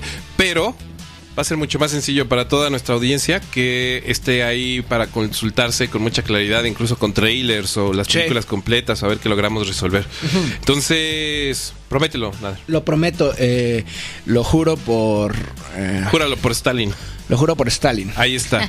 Eh, por acá Mostrovich nos pidió la rolita del mundial. Ahorita vemos qué quiere decir eso. También eh, respondamos estas preguntas rapidísimo, mi querido Nader, de manera así veloz. Dice camarada Eats, para el mundial 2018 Rusia, deberías armar un programa con Exosapiens y Diego Mejía, mi querido Benjamín. Algo fuera de este universo. Estaría increíble. Claro que sí. Nosotros encantados del... No, pero fue, bro- pero fue broma, no, no, no, no sé de fútbol. Ah, ¿no sabes? O sea, sé poco, pero por ejemplo, sé que el máximo emblema de, de- del fútbol ruso y soviético fue Lev Yashin. Pero Ay. más allá de eso, no, no, no sé. Eh, fue mucho. fake news. Fake. Ahí está. Eh, por acá también dice Big DuPont. ¿Cuál será la relación de los países bálticos con Rusia en el corto mediano plazo? Terrible. Los, los- los tres países bálticos están en Litu- Lituania y Letonia. Están siendo eh, neonazis rehabilitados y además de esto tienen... eh, Estados Unidos está es- eh, instalando su escudo antimisiles en esa zona, ¿no? Ahí está. Es muy mala la relación ahorita. Eh, Error Name también dice, yo tengo una pregunta, ¿los gringos tenían idea de las armas que presentó Putin en marzo? ¿O los tomó realmente por sorpresa? Y un agradecimiento al equipo y al maestro por la cantidad de tiempo invertida en compartir sus conocimientos. No, gracias a, a ti y a todos ustedes, por, a todo el público por, por sintonizarnos, ¿no? Eh, tenían más o menos idea, pero no sabían que los iba a presentar tan rápido. Por Estados Unidos ya sacó unos videos promocionales. Bueno, en Estados Unidos Lockheed Martin y todas estas Raytheon y todas esas empresas armamentistas eh, con una versión muy cutre imitando lo que había hecho Rusia, ¿no? Pero no sabían que lo iba a sacar tan pronto en este año. Ahí está. Eh, creo que ya tenemos la canción del mundial. Es la de Jason Derulo. Corríjanme si no es cierto. Todavía tenemos unos minutillos para resolverlo. Eh, pero sí es, hasta donde entiendo, este es el himno de la FIFA del, del, mundial. Eh, empresario Abón dice: Hoy en día, ¿qué tan ético sería esforzarse en hablar el, la lengua de, las de, los, de los invasores alemanes y franceses? ¿Creen que a partir de estos conflictos bélicos en Asia, el ruso y el chino cobren más fuerza en los años que siguen? Pues más fuerza del que ya tienen. Está difícil. No sé si podremos hablar de ética. Está rara la pregunta, pero bueno, tú responde rápido, mi querido. Pues creo que, o sea, estudiar cualquier lengua por cultura general y por engrandecer al espíritu y tu mente, creo que es recomendable, ¿no? Ahí está. Y en cuestiones de negocios, creo que el chino mandarín o incluso el chino cantonés es, es- es importante que los aprendan si gustan, ¿no? Ahí está, engrandezcan, engrandezcan su mente y su bolsillo vía chino mandarín. Eh, recomendación de invasiones el día de hoy. Eh, también por acá Crispín nos pide que votemos para ver cómo se corta el pelo. Ahí está la, la, la, eh, estadística, la encuesta. Para que participen, dice Big DuPont. Justo miren qué apareció. Eh, y es una nota del financiero que dice, el plan B de las televisoras de Estados Unidos para Rusia 2018, apoyar a México. Es que ya comienza la fiebre, o sea, vamos, es un año de elecciones y de mundial, ¿no? Va a estar No, y además no va, Estados Unidos no va al mundial, entonces Ah, claro. la el plan B de todas de las cadenas estadounidenses que habían comprado la transmisión del mundial Promocionar a México, es promocionar ¿no? a México. Mm. Ahí está. Eh, también la doñita de las plantas dice, Exosapiens es super perro. wow. Ahí está. Wow, wow, Eh, wow. Adriana Sábado Domingo dice largo, pero... Ah, no, no, no, eso es del corte de Crispín. El Gran Solín dice que ya quede invasiones cada jueves para hablar de historia, política global y lo que conlleve. de- Pues ya estaba, ¿no? Llevamos como casi un año, Solín, todos los jueves. Empezamos creo que miércoles y Sí, después jueves. empezamos los jueves, pero no me no me causes tanto tedio, Solín. Pon atención, por favor. Eh, Mostrovich dice, Sergei, eh, Seguri Sergei, Sergei talla madera con hachas y motosierras a la verga, maestro. Pues sí, sí, sí, le gusta eso. Sergei Eh. Serpín por acá también dice, gracias, Exosapiens. Y a no FM por la edición de este asunto. Pues la Alex solo ubico desde siempre en Twitter, pero en su timeline nunca pude seguir el hilo de su cotorreo. Las conversaciones han sido de lo mejor. Muchas gracias. Gracias a ti, mi querido Serpín, también por estar ahí al pendiente. Vega San dice, gracias por armar la lista de materiales recomendados y gracias, no FM, por ser los más chidos. Gracias, de nada. Es difícil. No, se nos da natural ser los más chidos, pero tú eres también muy chido. De Gazán o Vega o eres chida, no sé, no, no sabemos, es muy compleja la modernidad. Eh, la doñita de las plantas dice Estoy tú. contagiando. Tú, yo viendo las pelis de tu lista de en FM, cacahuates japoneses con Miguelito en polvo y agua. No sé, piénsalo. Creo que te están tirando el perro. Wow. Ah, no, es eh, Bianca. Sí, Sí. Pues que te tira el perro, es bonito, ¿no? Sí, es sí. parte de una relación sana. sí. ¿no? ¿Qué onda? Tú y yo, cacahuatitos, solitos y Tarkovsky. Bueno, eh, híjole, es que Tarkovsky también se necesita- te- tienes que estar en un día como no es para cualquier día Tarkovsky, ¿no? Eh, no, no lo es. No lo es, no lo es. Ah, ¿sabes cuál otra se me olvidó? La de Andrés Zioleski, la de Posesión. Apúntala en tu lista, Master. La de posesión, si no la han visto, es una película. No la vean. Es brutal. Creo que tienen que verla solamente para conocer las calles de y Berlín para ver las caras de. de esta. este- ¿Cómo se llama la actriz? Esta, esta Isabela Gianni. Uf, qué- Sí, si es quieren, mu- si es quieren perturbar su espíritu muy- de verdad, vean la película. Muy, muy fuerte. Sí, es muy, muy fuerte. Es una locura de película. En fin, señores, señores, ¿qué más tenemos por aquí? Eh, Serpín dice, no mamen que toda esa lista de películas la dijo de memoria. Para ena- No, no, no, no, no. en- engrandecer el mito, diremos que sí. Sí. Lo dijo de memoria. Eh, lo dijo así como nada más peloteando en su biblioteca de Alejandría Mental. Eh, sí, de memoria la dijo mi querido amigo. Si Sapiens dice saludos, algo digno de escuchar por las mañanas. Mi querido Sapiens, tú eres muy digno también de escucharse en las mañanas porque este programa es de escuchar y ser escuchado. Ahí está, señoras y señores, estamos listos. Nos vamos, nos despedimos. Tenemos muchísimo placer de anunciarles que hemos terminado Salve Putin, Historia de la Rusofobia. 10 entregas para todos ustedes. Estará pronto en el canal de Exosapiens este último capítulo. Arroba Exosapiens en Twitter, Exosapiens en YouTube. Y eh, nosotros armaremos una entrada ya con todos los capítulos, los 10 capítulos. Yo creo que la próxima semana todos juntos para que los puedan ubicar Sí. de principio a fin. Muchísimas gracias, Cristian. Fue increíble. Fueron siglos y siglos y milenios de historia en estas 30 horas. Gracias a ustedes por y a todo el público por la paciencia y por, por apre- aprender junto a nosotros en este largo camino de conocimiento. Y de ese gran país llamado Rusia. Ahí está, maestro. Mi querida Gaby, muchas gracias. Rosilla. Muchas gracias, nos escuchamos mañana. Y nosotros nos despedimos. Tengan muy buena tarde. Se quedan en su jueves aquí en su 9FM de confianza. Recuerden que viene el caníbal a las 5, la hora dada. Tiene invitadísimos de Brasil para el mundo. Todos los actos brasileños que van a estar en el ceremonia, ceremonia. estarán aquí en cabina con todos ustedes. Así que estén muy pendientes a las 6 de la tarde. A las 8 las inmensas postales de Erika Arroyo. A las 9 el pulso de Mitch. A las 10 el play de 9FM. Y a las 11 el snob con Raúl Bravo y Juan Pablo García Moreno. No tienen más lugar a donde ir, se les espera con muchísima eh, idolatración. ¿Idolatración? Idolatría. Idolatría. Idolatría, se les espera con idolatría. Suena raro, pero ya sonó, ni modo. Así son las cosas, está grabado también. Y nos despedimos. Y por mi parte, solo me queda decirles dos cosas. Muchísimas gracias por su paciencia y estar tan al pendiente de estas 10 emisiones. Hemos recibido comentarios increíblemente positivos y nos da muchísimo gusto, de verdad, que lo hayan disfrutado. Y por segundo, sigan siendo rusos, sigan siendo bálticos, sigan siendo noruegos, porque el mundo. Y gente- soviéticos. y soviéticos, porque el mundo necesita gente como ustedes. Hasta luego, tengan muy buena tarde. Esto es 9FM. Hasta luego, salve Putin. Fue increíble. Todo menos miedo. Nos narovia.